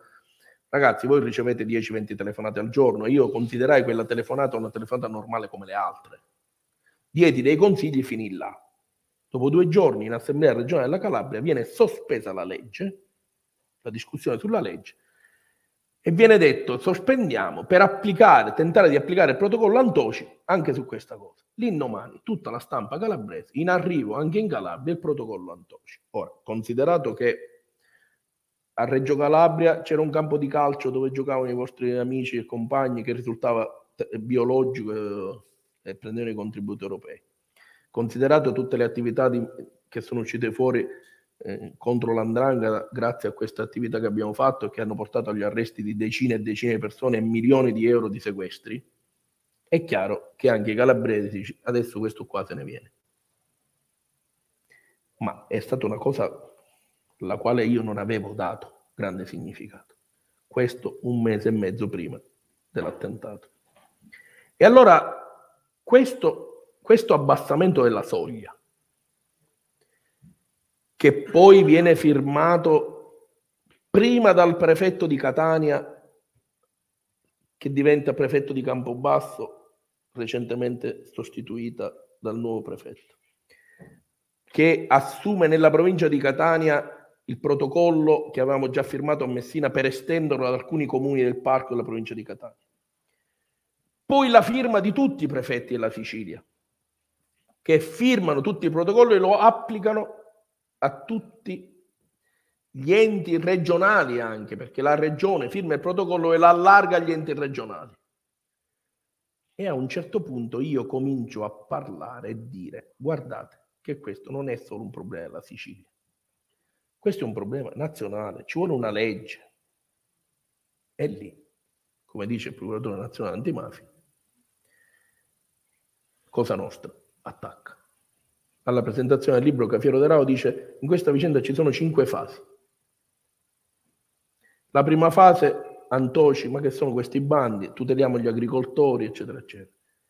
La seconda fase, questo importante e lungimirante accordo con la prefettura che porta avanti il protocollo. La terza fase arriviamo, dice noi, magistratura e forze dell'ordine, e arrivano gli arresti, i sequestri, eccetera. Poi c'è una quarta fase, dove girandosi e guardando, dice, questo, sogna, questo sognatore di Antoci comincia a dire che ci vuole una legge nazionale. A quel punto arriva la quinta mafia, la quinta eh, fase. La mafia attacca Antoci per fermarlo. E oggi è chiaro, perché parliamo di bacini miliardari. A cosa servivano questi fondi? Servivano al sostentamento delle famiglie carcerati, al mercato della droga. Parliamo di milioni e milioni di euro. E quando noi dicevamo che non era un tema solamente siciliano, io vorrei ricordare a tutti, a lei per primo direttore, il suo collega Jan Kuciak, ucciso e giustiziato in Slovacchia insieme alla fidanzata, si stava occupando di questa vicenda. Aveva trovato sette ndranghetisti con milioni di euro nei conti correnti dovuti ai fondi europei all'agricoltura. E quando fu ucciso, la terza giornalista che doveva andare a quell'appuntamento e per un caso non è andata e si è salvata, mi fece un'intervista. Io parlicchio l'inglese, ma a un certo punto cominciò a piangere, a singhiozzare, quindi io non la capii più. Mi fece aiutare la mia figlia. Io chiesi, ma perché piange? E lei mi dice, Presidente, Jean, sopra la tastiera del suo computer, aveva un fogliettino con la scritta Protocollo Antoci. E allora, se questo accade in Slovacchia, se nelle indagini dell'operazione Nebrodi, che ha portato agli arresti 111 persone e 151 aziende sequestrate per mafia e tutte le altre indagini, le altre DDA che sono state fatte e che si stanno facendo, se si trovano i conti correnti di questi signori all'estero, nell'Ingstein, in altre... e non è più la mafia dei pascoli. Certo. Questa è la mafia dei terreni, ricca, omicidiaria, do, che viene da quella tradizione della mafia arcaica, seppur dalla quale nascono Totorina, Bernardo Provenzano e i capi più efferati di Cosa Nostra. Ma questa mafia che ha mutato pelle, che è diventato questo mutamento di cui oggi parlano i giuristi eh, e, e che i giuristi Montalloro considerano la nostra norma una delle norme più importanti della legge Pio La che sta colpendo i patrimoni delle mafie in maniera ferocissima. Perché attenzione, di cosa si nutrono le mafie, ragazzi? Si nutrono del controllo del territorio. Co- hanno dimostrato quelle indagini che quelle erano territori sotto scacco, sotto vessazioni, umiliati, persone che dovevano costrette a cedere i loro terreni, anche privati, terreni che risultavano affittati da gente morta da vent'anni tutto falso. Durava da vent'anni, milioni di euro che arrivavano dalla, dalla GE della comunità europea. E noi li abbiamo fermati. E noi dobbiamo raccontare, direttore, le vittorie dello Stato contro la mafia. Dobbiamo raccontare le stragi, il valore dei valorosi uomini dello Stato, ma dobbiamo raccontare quando lo Stato vince, quando le prefetture fanno uno strumento importantissimo che rimarrà nella storia della lotta alla mafia di questo paese. Quando voi vi sentite protagonisti, voi che non siete, come è stato detto, il futuro, vi prego, non mi fate dire ragazzi che siete il futuro di questo paese. Voi siete il presente, prendetelo nelle mani, lavorate con noi, affollate questa strada di legalità e di sviluppo. Le mafie tolgono sogni e speranze a noi, alle nostre famiglie, al nostro futuro. Ricordatevi, noi abbiamo la migliore normativa antimafia d'Europa e del mondo. Ma il miglior testo antimafia di questo paese è la Costituzione. Ripartite e partiamo da lì, dal dovere di cittadinanza. E lì perdono le mafie. Le mafie perdono quando tu racconti i risultati, quando tu racconti una strada di normalità, direttore, dove hai fatto solo il tuo dovere insieme ad altri e crei uno strumento che il 27 di settembre 2017 io ero là in Parlamento, mi hanno voluto in aula. Diventa uno dei tre cardini fondamentali del nuovo codice antimafia. E io ero là. Ho visto quei pallini.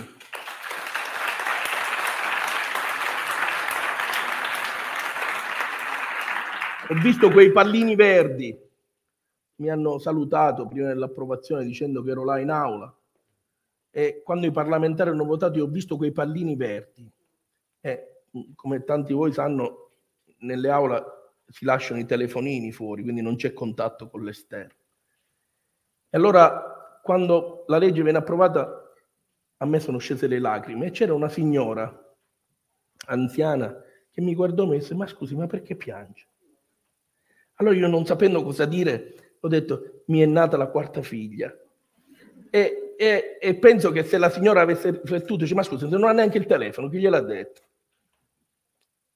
E questa norma che oggi fa grandi risultati, è questa norma che ha consentito all'Italia di avere una nota, apposita nota della Commissione europea a firma di Philip Hogan, che dopo tanti anni scrive e dice agli Stati membri, noi siamo consapevoli che ci sono infiltrazioni mafiose in agricoltura, cita la Slovacchia, cita la Corsica per un altro evento, tra l'altro che mi riguarda, e dice noi non mi possiamo imporre una norma, ma vi invitiamo a seguire l'esempio del protocollo Antoci in Italia diventato legge dello Stato come strumento eloquente di lotta alla mafia per tale impegno.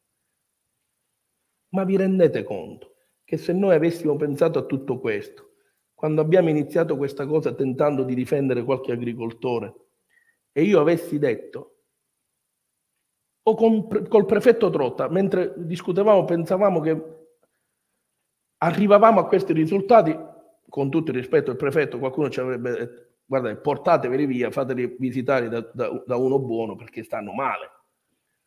E invece no, bisogna sognare, ragazzi bisogna fare soprattutto una cosa. E questo è un vostro problema e su questo vi sollecito. Voi non dovete pensare di essere esenti dal valore della scelta. La scelta voi la dovete esercitare. Dovete dimostrare a voi stessi e agli altri da quale parte state. E questo va fatto se si attraversano le strisce pedonali, come parlavamo oggi, o se si decide di partecipare a, una, a un associazionismo anche di, lot, di, di, di lotta alla mafia, di legalità sociale. Dovete scegliere. Perché altrimenti quel concetto ci deve pensare lo Stato, diventa il vostro mantra e diventa anche il vostro eh, la vostra opportunità di nascondervi dietro il dito. No?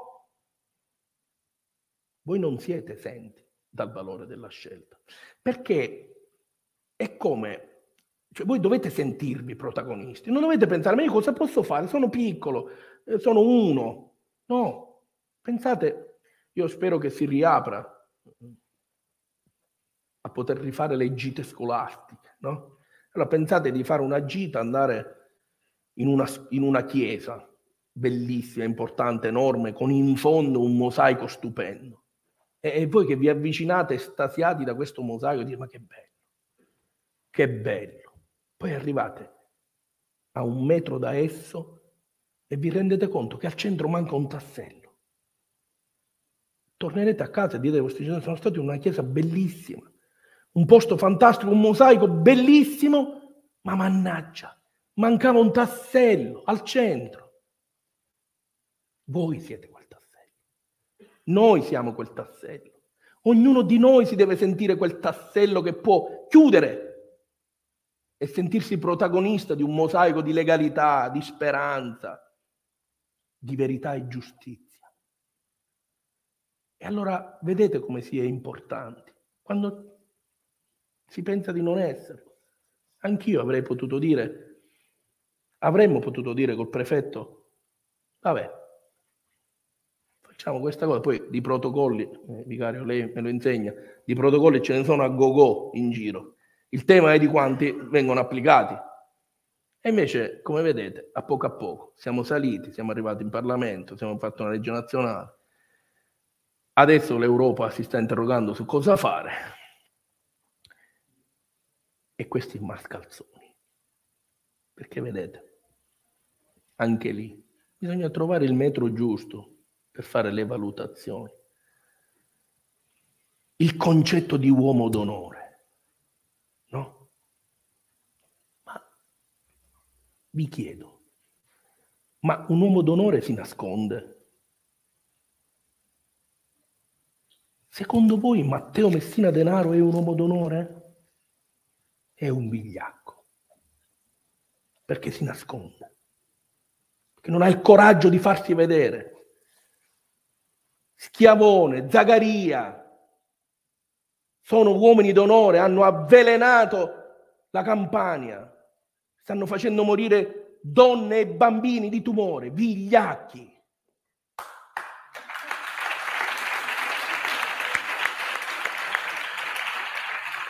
Voi dovete scegliere da quale parte stare. Questa è la parte che vi racconto, con la quale non dovete avere nulla a che fare. L'impegno di ognuno di noi, come diceva il direttore, è quello di parlare, di discutere, di fare la propria parte. Io spero di poterlo continuare a fare.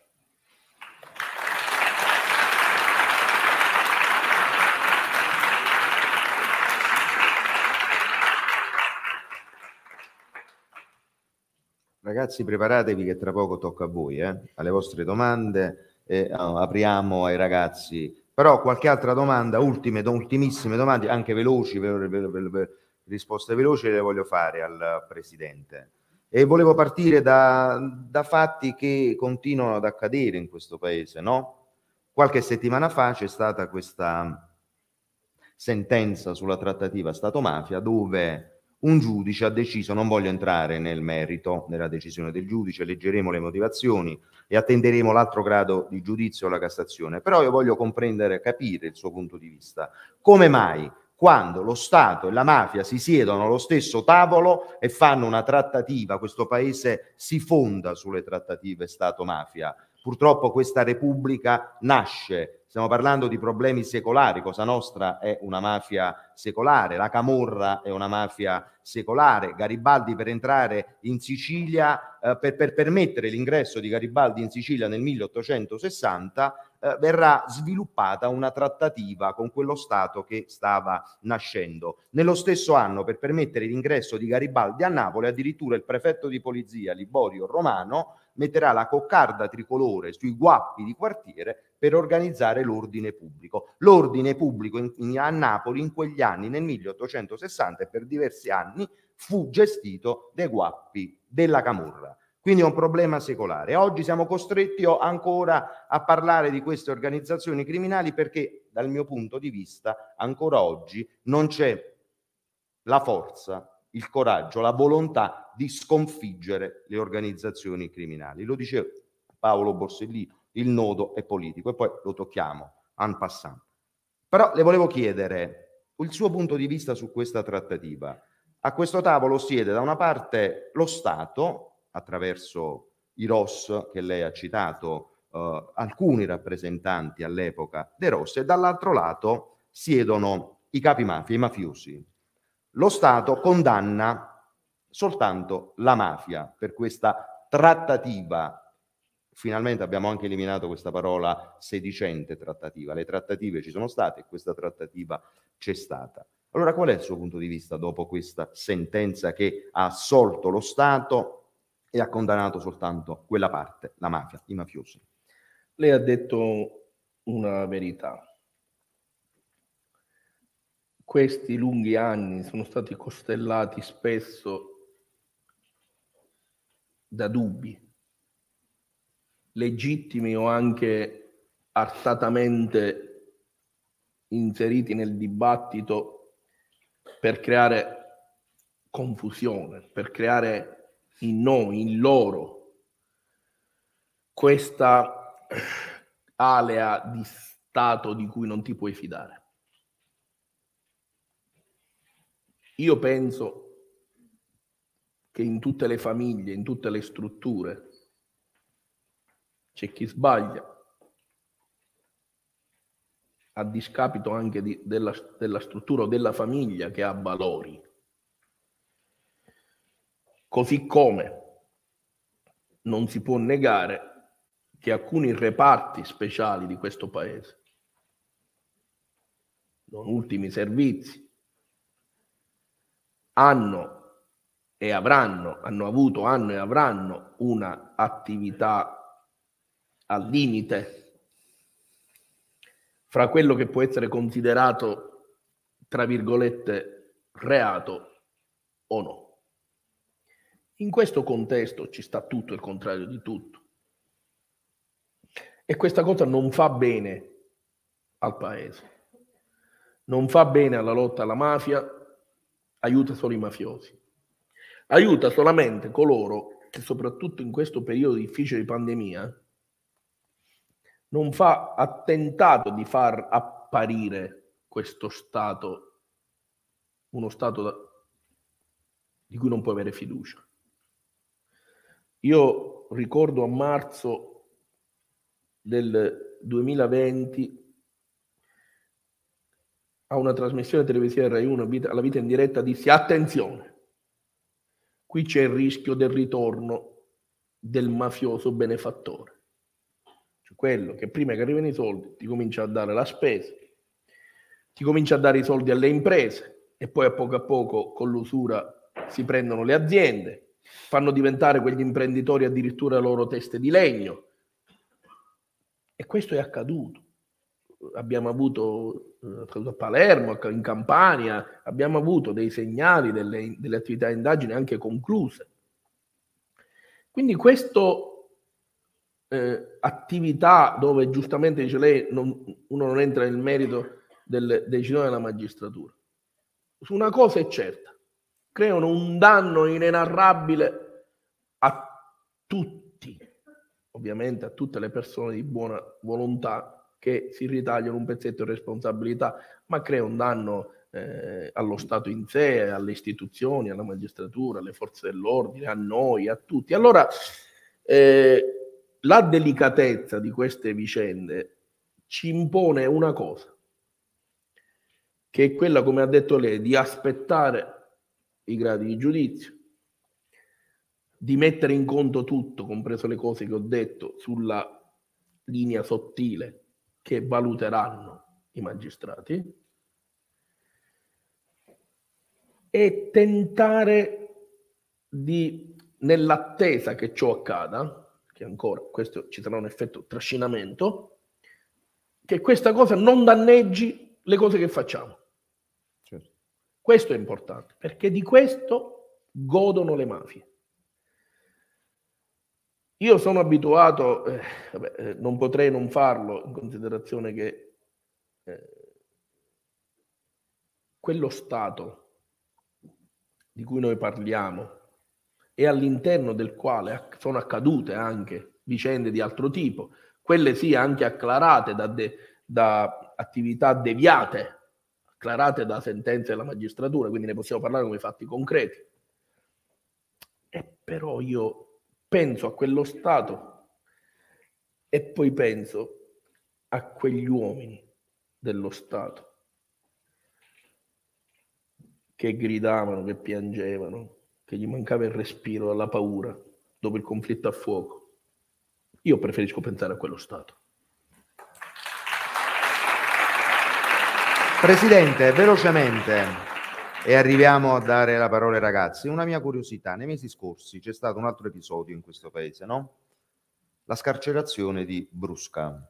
Allora si è gridato allo scandalo, no? Deve rimanere in galera perché ha sciolto i bambini nell'acido, perché era un killer, era un assassino. Però in questo paese ci dobbiamo mettere d'accordo. Li vogliamo o non li vogliamo i collaboratori di giustizia? Servono o non servono i collaboratori di giustizia in questo paese?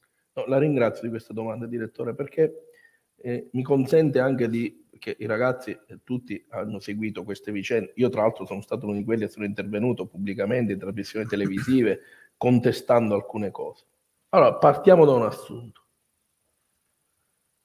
Brusca, che fa parecchi anni di carcere, viene scarcerato per una norma che gli dà meno pena è creata da Falcone sui pentiti. La disarticolazione di Cosa Nostra in Sicilia senza i pentiti è inutile, ragazzi, non, non ci sarebbe stato. Da Buscetta in poi. E allora su una cosa io invece punterei il faro, che è la problematica sull'ergastolo stativo. Certo. Quella è una norma voluta e che ha dato un risultato. C'è un prezzo da pagare. Pensate quanto felice possa essere io che Brusca e, com- e qualche altro esca per fine pena.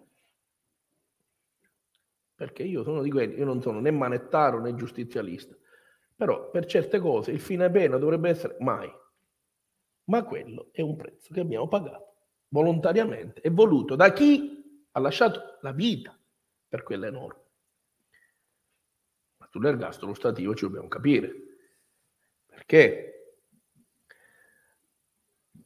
Che i detenuti per mafia, che hanno fatto decine e centinaia di omicidi e di stragi, debbono avere dallo Stato, quello Stato che loro hanno colpito,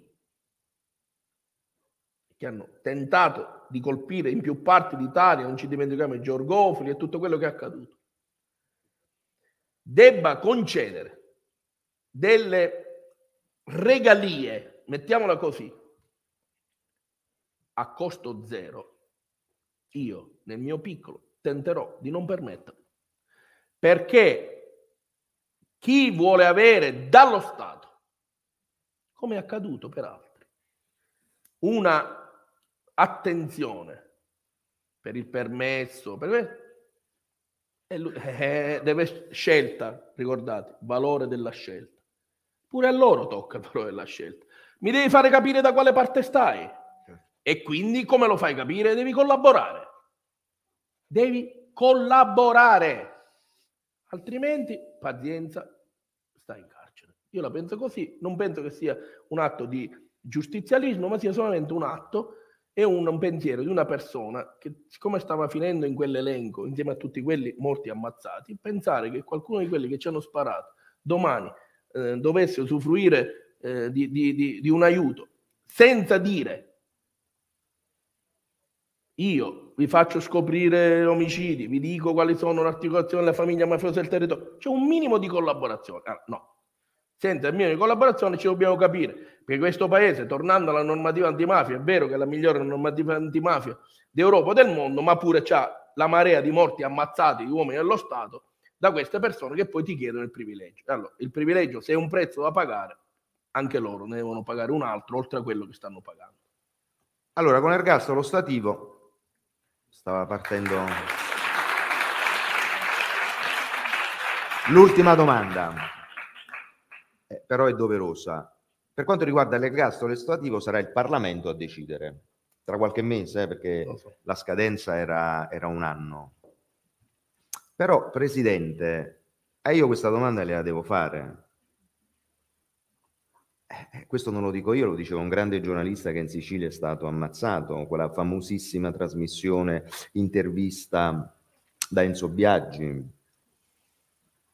I mafiosi stanno in Parlamento, siedono in Parlamento. Un partito politico in questo paese che ha governato questo paese è stato fondato da un soggetto, indipendentemente dalle vanterie di questa sentenza trattativa Stato-mafia, che è stato condannato definitivamente a sette anni per concorso esterno. Noi stiamo rischiando di avere un presidente della Repubblica, e queste parole le dice un magistrato che si chiama Nino Di Matteo, un soggetto che ha pagato da Presidente del Consiglio Cosa Nostra in questo Paese. Ripeto, dichiarazioni fatte da Nino Di Matteo, ma ci sono le sentenze che dicono questo, la sentenza di condanna di Marcello Dell'Utri.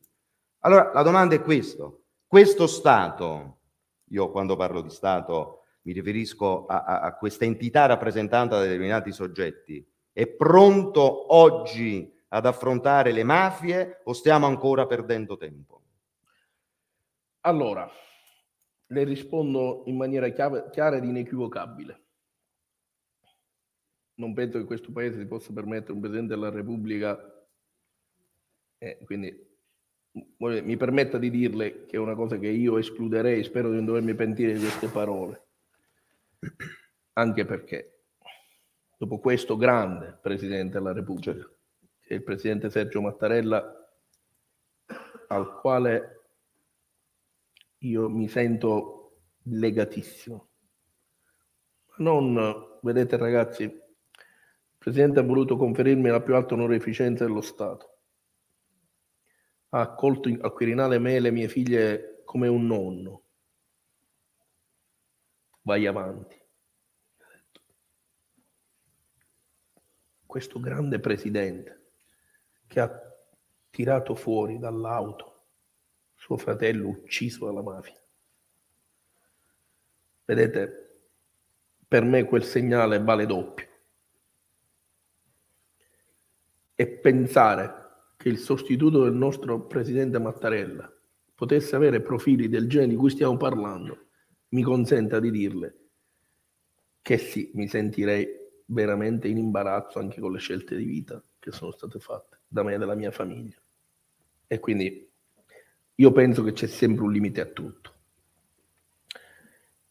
E a proposito di Mattarella, mi viene anche in mente eh, di dire ai ragazzi una cosa, tornando alla scelta. Mattarella viene a Milano alla commemorazione dei 40 anni dell'uccisione di Giorgio Ambrosoli. Prima incontra le persone in questi sette anni abbiamo ricevuto il premio Giorgio Ambrosoli e poi in questa eh, al teatro pieno di persone dice una cosa bellissima dice attenzione guardate che se da un lato c'è la mafia le mafie, la criminalità e dall'altro c'è chi li combatte se voi state in mezzo non mischierate non esercitate la scelta pensando di essere innocui? Eh no, non è così. Perché il silenzio non è innocuo, aiuta le mafie, non chi li combatte. Il silenzio, come è accaduto per la mia vicenda, arma le mani contro chi parla e fa rumore. Quindi non fate mai silenzio, ragazzi.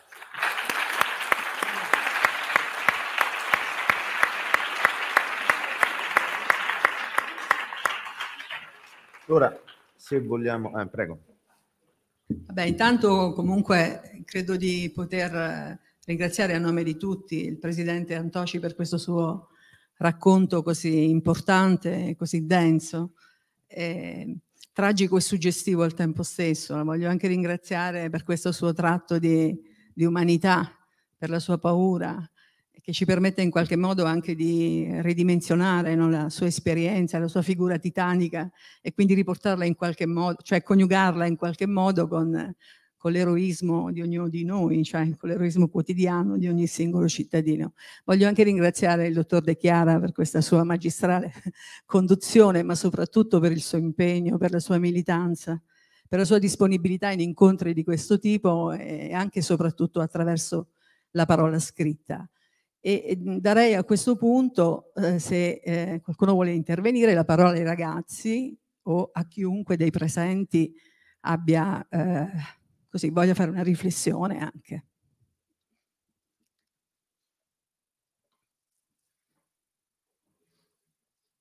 Qualcuno deve rompere il ghiaccio, sì, se volete, altrimenti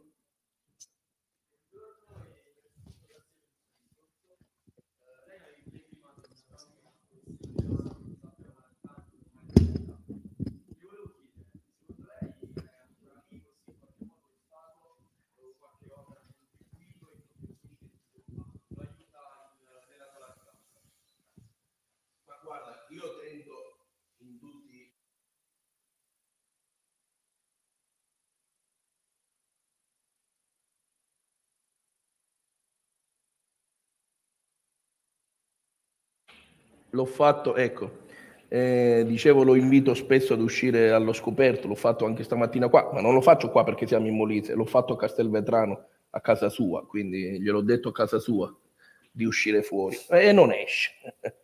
Quindi non esce perché è morto. Se potessi sapere questo, eh, sembra di no. Anche questa vicenda che lo stadio aiuta le, aiuta le latitanze.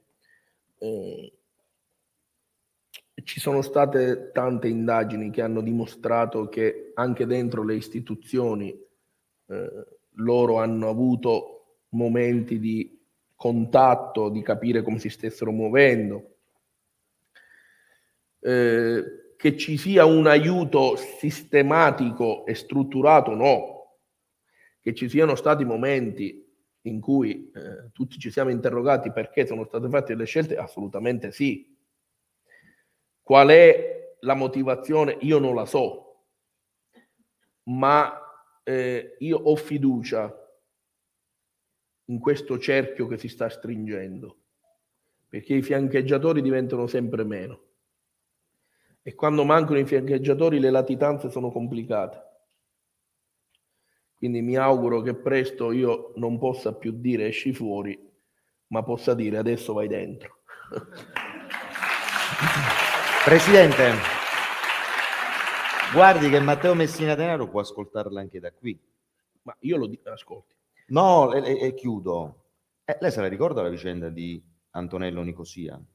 Antonello Nicosia era l'assistente di una parlamentare molisana e questi due parlavano di Matteo Messina Denaro. Questa è la gravità di quello che succede in Ma guardi, io, lo, eh, direttore, eh, lei sa che io uh, sono molto attento nelle cose che dico. E, per questo ho detto, non lo dico qui, l'ho, l'ho detto a Castelvetrano, così come ho detto a Corleone, a Gaetano Rina, che gli avrebbero sequestrato anche i calzini e le scarpe, e così è stato ma non è una sfida. Certo.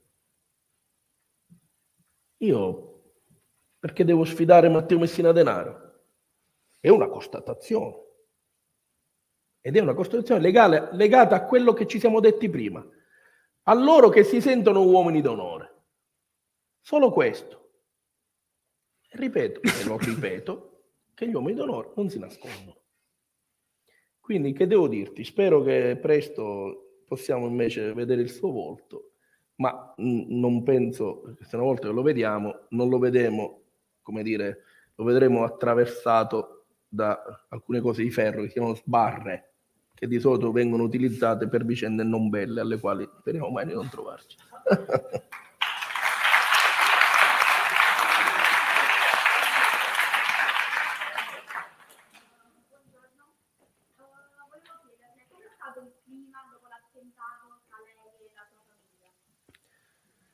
Allora,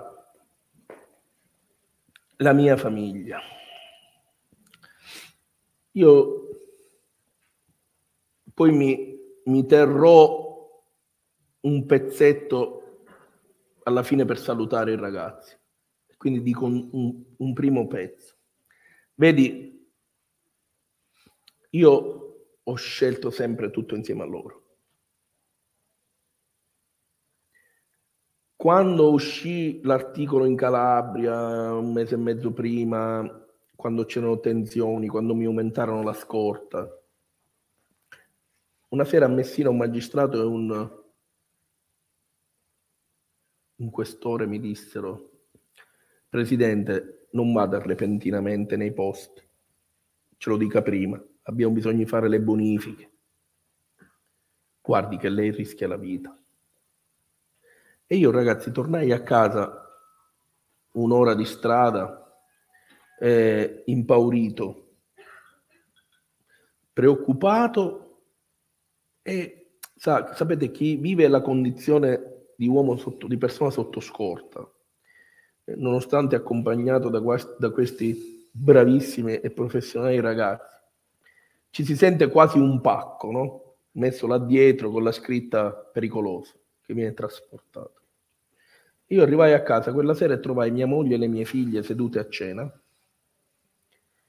e eh, la più grande aveva, faceva il quarto liceo, poi l'altra faceva il primo liceo e una la terza media. E dissi loro non scappate ragazze, Facebook, telefonini, perché ho bisogno di parlare con voi. E quella sera dissi loro, guardate, papà rischia la vita. Se voi pensate che non ne valga la pena, che mi devo fermare, che non lo ritenete giusto, che avete paura. No, voi non dovete vergognarmi di chiedermelo. Io non lo so cosa farò, ma voi avete il diritto di chiedermelo. E quella sera, ragazzi, noi andammo a letto senza una parola. Sguardi, solo sguardi. E vi dico con molta franchezza che io quella notte non dormì se mi chiedete in percentuale più per la paura di quello che mi avevano detto, perché gli sguardi e le mie figlie, vi dico per quegli sguardi. Perché è stata, direttore, l'unica volta in questi lunghi sette anni in cui ho pensato di aver rovinato una famiglia. La mattina andammo io avevo un impegno, avevamo creato un marchio importantissimo e vinse un premio importante in Italia, Nebro di Sisili, dove dentro c'era alta qualità e anche il certificato antimafia, quindi innovativo. Stavo finendo la conferenza stampa, mi squilla il telefono, era mia figlia. Erano le 11. Mi dice, papà, vieni a casa, devo parlarti. Allora io dico, Irene, ma quando esci da scuola parliamo a casa? No, no, mi sono fatta venire a prendere prima da nonno. Vieni a casa, ho bisogno di parlare con te. Poi ho scoperto che lei era stata sveglia fino alle tre del mattino con le sorelle. Sono arrivato e l'ho trovata seduta nello stesso posto dove era seduta la sera prima, in cucina. Entrai, dico Irene, che c'è? Siediti. Mi guardò, strizzò gli occhi e mi disse, papà, tu devi fare una cosa per me lo devi fare per le mie sorelle. Mi disse una cosa strana e bella, professoressa. Mi disse lo devi fare per le mie compagne. Fallo per questa terra, non ti fermare. Tanto ci siamo noi con te. Vedi, questo noi è lo stesso noi di quando mi portarono a casa dopo l'attentato. Loro li abbiamo fatti vestire come se dovessero andare a scuola, scen- sono scese con lo zaino e noi abbiamo detto non potete andare a scuola oggi. Allora mi ricordo mia figlia mi disse, sempre la grande, ma papà, ma io ho compito di latino. E allora il questore che mi aveva accompagnato con molta freddezza disse papà ha subito un attentato. E allora noi ci siamo abbracciati con mia moglie e le mie figlie, abbiamo pianto. E loro anche quella mattina, non preoccuparti papà, tanto ci siamo noi. E allora vedi, questo non è il noi della mia famiglia, è il noi di oggi. E il noi di tante persone per bene, che siamo tanti, ma tanti più dei mafiosi, dei dranghetisti, dei criminali, ma tanti di più. Dobbiamo avere solo la forza di unirci, capire che siamo più forti. Pensate, in Sicilia ci sono circa 5 milioni di abitanti e circa, mi, mi autorizzi il termine dirigente, e circa 7.000 schifosi mafiosi. Ma voi vi rendete conto che se ci arrabbiamo i 5 milioni che succede sti qua? E che non ci arrabbiamo.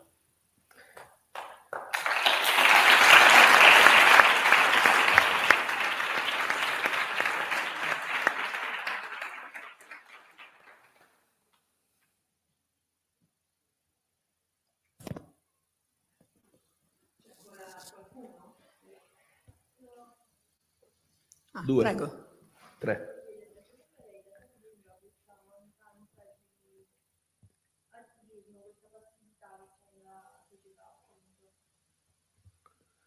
Guarda, è quello che ha detto il presidente Mattarella. A volte si pensa di rimanere tranquilli senza scegliere da quale parte stare, eh, pensando che le cose non toccano a se stessi. Eh, ovviamente parlo delle persone in buona fede, perché delle connivenze è chiaro che eh, non le commentiamo. Cioè si pensa che quella sia la strada, più, la strada migliore. Perché, no, perché la nostra vita ci porta a correre, a non riflettere che il dovere che voi per esempio avete nel cercare di studiare diventando persone colte perché la libertà è cultura, non si debba sposare mai con l'aspetto morale.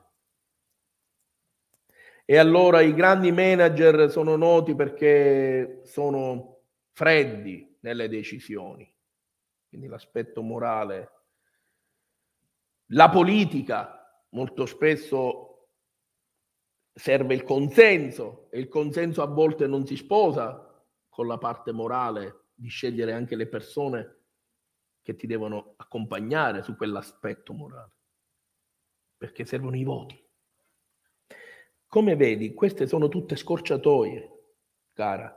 Perché sono scorciatoie? Perché alla fine io sono assolutamente convinto che ognuno di noi, ricordati quello specchio, ognuno di noi nella propria vita dovrà capire se ha transitato, se è transitata, è transitato da questo mondo, in questo cono, sì, anche di normalità, ma senza ritagliarsi e diventare quel pezzo di mosaico.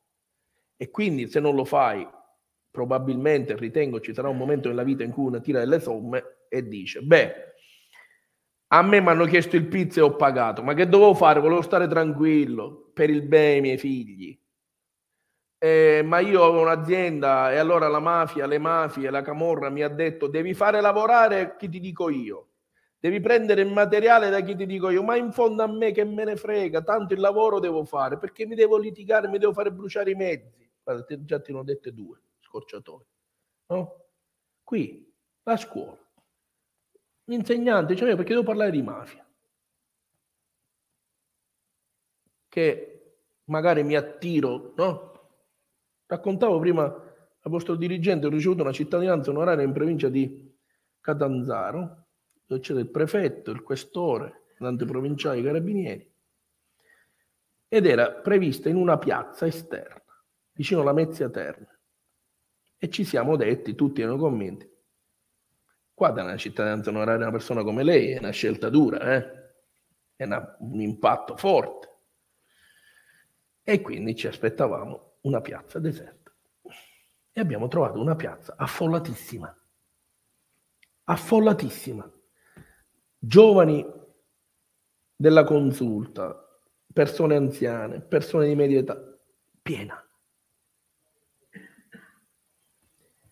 E allora qual è il segnale che passa? Che queste persone, vedi, non è un tema legato alla pigrizia, è un tema legato alla convenienza. Fin quando in questo paese non ci rendiamo conto che la legalità conviene e che le mafie ti rubano tutto, sogni, speranze e vita, noi non capiremo mai da quale parte stare.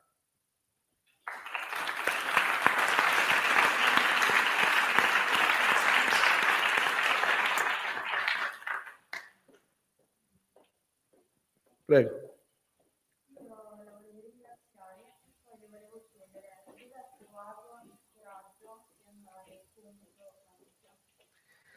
Ma sai, questo aspetto del coraggio è una cosa che, sulla quale io mi interrogo molto. Sai perché? Perché io non riesco a, a percepirlo. Cioè, la cosa bellissima di questo concetto del coraggio è che a mio modesto avviso è una cosa che io non, non incontro nella mia strada, cioè io non la percepisco, non la capisco. Perché non penso che sia coraggioso vivere una vita dignitosa. Io non penso che sia coraggioso farsi tenere col piede nella faccia da questi mascalzoni. Io penso che la normalità della scelta trasforma la paura, quella sì, ma non la deve trasformare in coraggio, altrimenti nascono i miti, altrimenti arrivano gli eroi, altrimenti arrivano quelli che, per i quali si dice ah, ma io non lo potrei mai fare, quello che ha fatto Antoci e a quel punto arriva l'alibi. E a quel punto ci colleghiamo alla domanda di prima, cioè quel coraggio che viene detto, ah, ma ci vuole coraggio, è l'alibi per non dire, per non fare, per non schierarsi. Perché c'è quella componente del rischio. Nessuno chiede, tra virgolette, atti di eroismo, come stiamo dicendo, o eh, andare con le fionde contro il i carri armati. Però ricordatevi che un giovane da solo ha fermato decine di carri armati a Tiananmen. Pensate a quel giovane. Ha avuto coraggio? Secondo me lo ha spinto la voglia di dire basta. E allora diciamo basta. Per dire basta. Se siamo tanti, non c'è bisogno di coraggio, perché non gliene bastano pallottole, non gli basta tritolo, perché se siamo tanti, se questa strada è affollata da tanti di noi, persone per bene, loro solo, si possono solo arrendere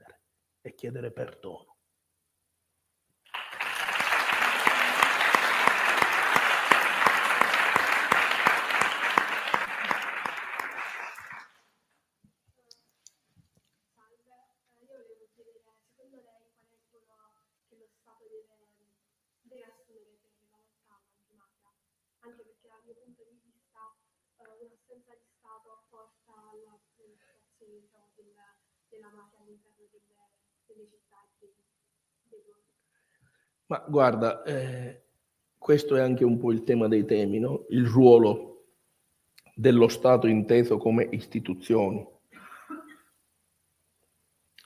Sai, eh, dobbiamo un po' tornare anche alla politica e quindi al consenso. Eh, molto spesso eh, i ruoli eh, come abbiamo parlato dell'ergastolo stativo, di altre norme. Sai, questo è un paese che ha spesso legiferato sull'onda del sangue. eh, la legge Rognoni-La Torre, la legge Pio-La Torre viene approvata dopo l'uccisione per la Torre e di Carlo Alberto della Chiesa.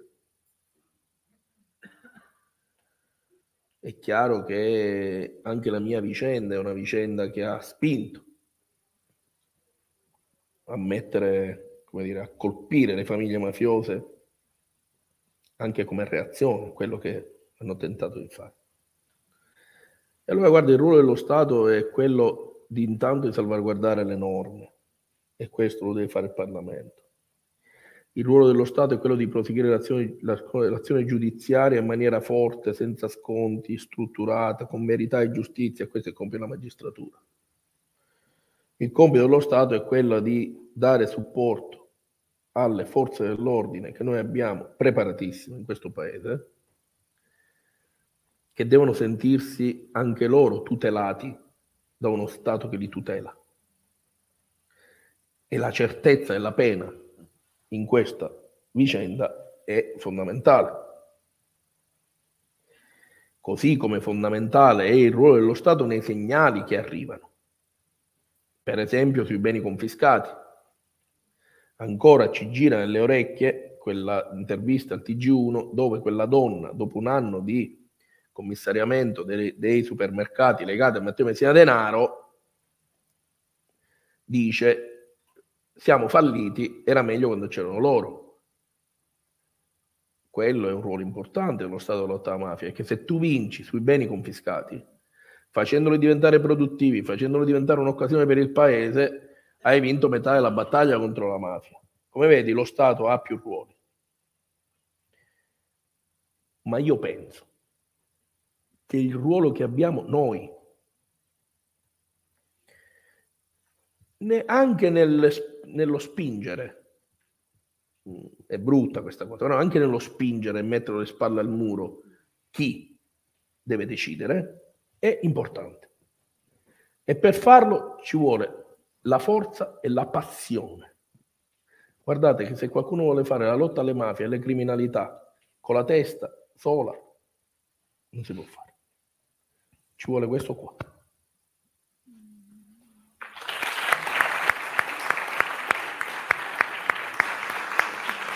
Mi, eh, mi, dispiace se eh, ci sono altri interventi, eh, magari eh, soprattutto i ragazzi avranno modo di approfondire poi eh, a scuola eh, questi temi e quindi riflettere adeguatamente. So che il presidente Antoci eh, deve poi riprendere il suo viaggio, la giornata è ancora abbastanza, abbastanza lunga, eh, per cui mh, magari ci avviamo lentamente verso i ringraziamenti e i, e i saluti finali. Vi anticipo um, che il Presidente si tratterrà ancora un po' per firmare qualche libro, se avrete voglia e piacere di, mh, di farlo. Io da, da parte mia eh, devo, devo ringraziare, ringrazio Intanto, se mi permettete, i ragazzi per questo silenzio attento. Ehm,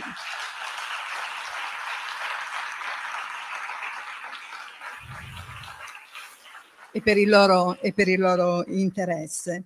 Eh, ringrazio um, sicuramente eh, tutti i presenti, eh, tutti i rappresentanti delle istituzioni che eh, in presenza o da lontano hanno voluto in qualche maniera farsi, eh, farci sentire, no? loro, farci giungere il loro, il loro appoggio. Eh, voglio anche ringraziare, se permettete, eh, la professoressa Ciamarra mi accompagna in questo compagna e supporto prezioso eh, e tra l'altro insomma sono qui faccio da portavoce parlo anche per suo, eh, per suo conto. Eh, un ringraziamento speciale al, al dipartimento di eh, al Dipartimento Giuridico eh, di Diritto ed Economia dell'Istituto Galanti, a tutti i docenti di di educazione civica che si sono impegnati sulle classi e che continueranno uh, a farlo, eh, allo staff anche della dirigenza che ha curato insomma, aspetti anche relativi alla logistica e a tutti i docenti che eh, per consentire a noi di essere qui sono rimasti nelle, nelle classi. Eh, E poi ancora la segreteria che ci ha supportato, insomma, in un momento anche difficile perché eh, l'emergenza Covid eh, c'è stata comunque una preoccupazione di, la preoccupazione di muoversi no, nel, miglior modo, nel, miglior modo, possibile. Un ringraziamento al professor Agno, eh, Iannoni e al professor Armagno che sono lì nella... e ai nostri tecnici Emilio Di Bartolomeo e Antonio Reale, spero di non dimenticarmi nessuno perché insomma hanno permesso soprattutto questo collegamento no, sul triennio e, e, poi insomma hanno consegnato questo documento anche alle classi del biennio e a chi in futuro vorrà comunque ascoltare e in qualche modo meditare al riguardo. Ringrazio il, il dirigente, non so se voglia ancora intervenire nei saluti finali. Spero di non dimenticare nessuno, non me ne vorrete se eh, accadrà. Sì, lei voleva concludere, mi diceva, voleva... Volevo, volevo, salutare, continuare ancora a ringraziare eh, dirigente, sa, il mio cuore è fatto di t- piccole cose che si depositano. E oggi ne ho depositato un'altra. E e volevo dire soprattutto a voi ragazzi, è una cosa che mi preoccupa ogni volta che io faccio un incontro e poi vado via. Voi avete ascoltato un pezzo di, di, di, di, un pezzo di storia di questo paese, di, impegno, di normalità. Eh, il direttore, eh, che ringrazio molto, non è la prima volta che colloquiamo per la sua puntuale attenzione ai temi fondanti. Si potrebbe parlare per ore. Noi penso che siamo riusciti a dare i segnali giusti, però io mh, mm, sono convinto che qualcuno di voi andrà a casa pensando, eh, però Antoci, sì, hanno fatto una bella norma, stanno una bella vittoria, stiamo vincendo. Eh, però tra un po' l'ammazzavano. Ha perso la libertà. La sua famiglia vive una condizione complicatissima. È una persona che ha paura. E allora, la solita domanda. Ma ne vale la pena? E allora ragazzi, io vi saluto e vi rispondo, non con parole mie. Quando abbiamo presentato il libro a Roma al Tempio di Adriano, mm, il libro è stato presentato dal procuratore nazionale antimafia Cafiero De Rao e dal capo della polizia prefetto Gabrielli, oggi sottosegretario. E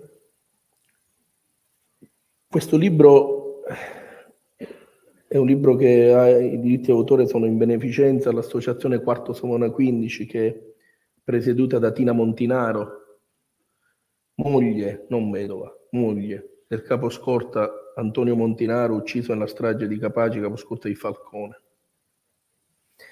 Quel dialogo fra me e mia figlia che io vi ho raccontato quella sera in una sala gremita delle più alte autorità dello Stato.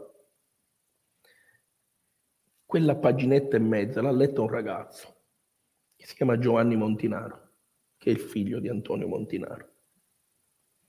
Giovanni legge questa paginetta e mezza del dialogo di mia figlia che mi dice papà vai avanti, ci siamo noi, e si siede, non dice altro.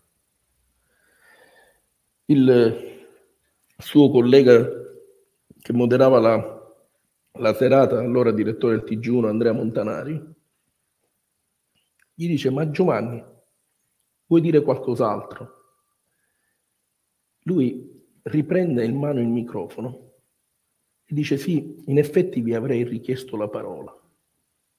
Si gira, mi mette una mano sulla spalla e mi dice grazie Presidente, grazie di cuore questa sera attraverso queste righe e attraverso queste parole. Dopo tanti anni sono riuscito a parlare a mio padre. Ne vale la pena.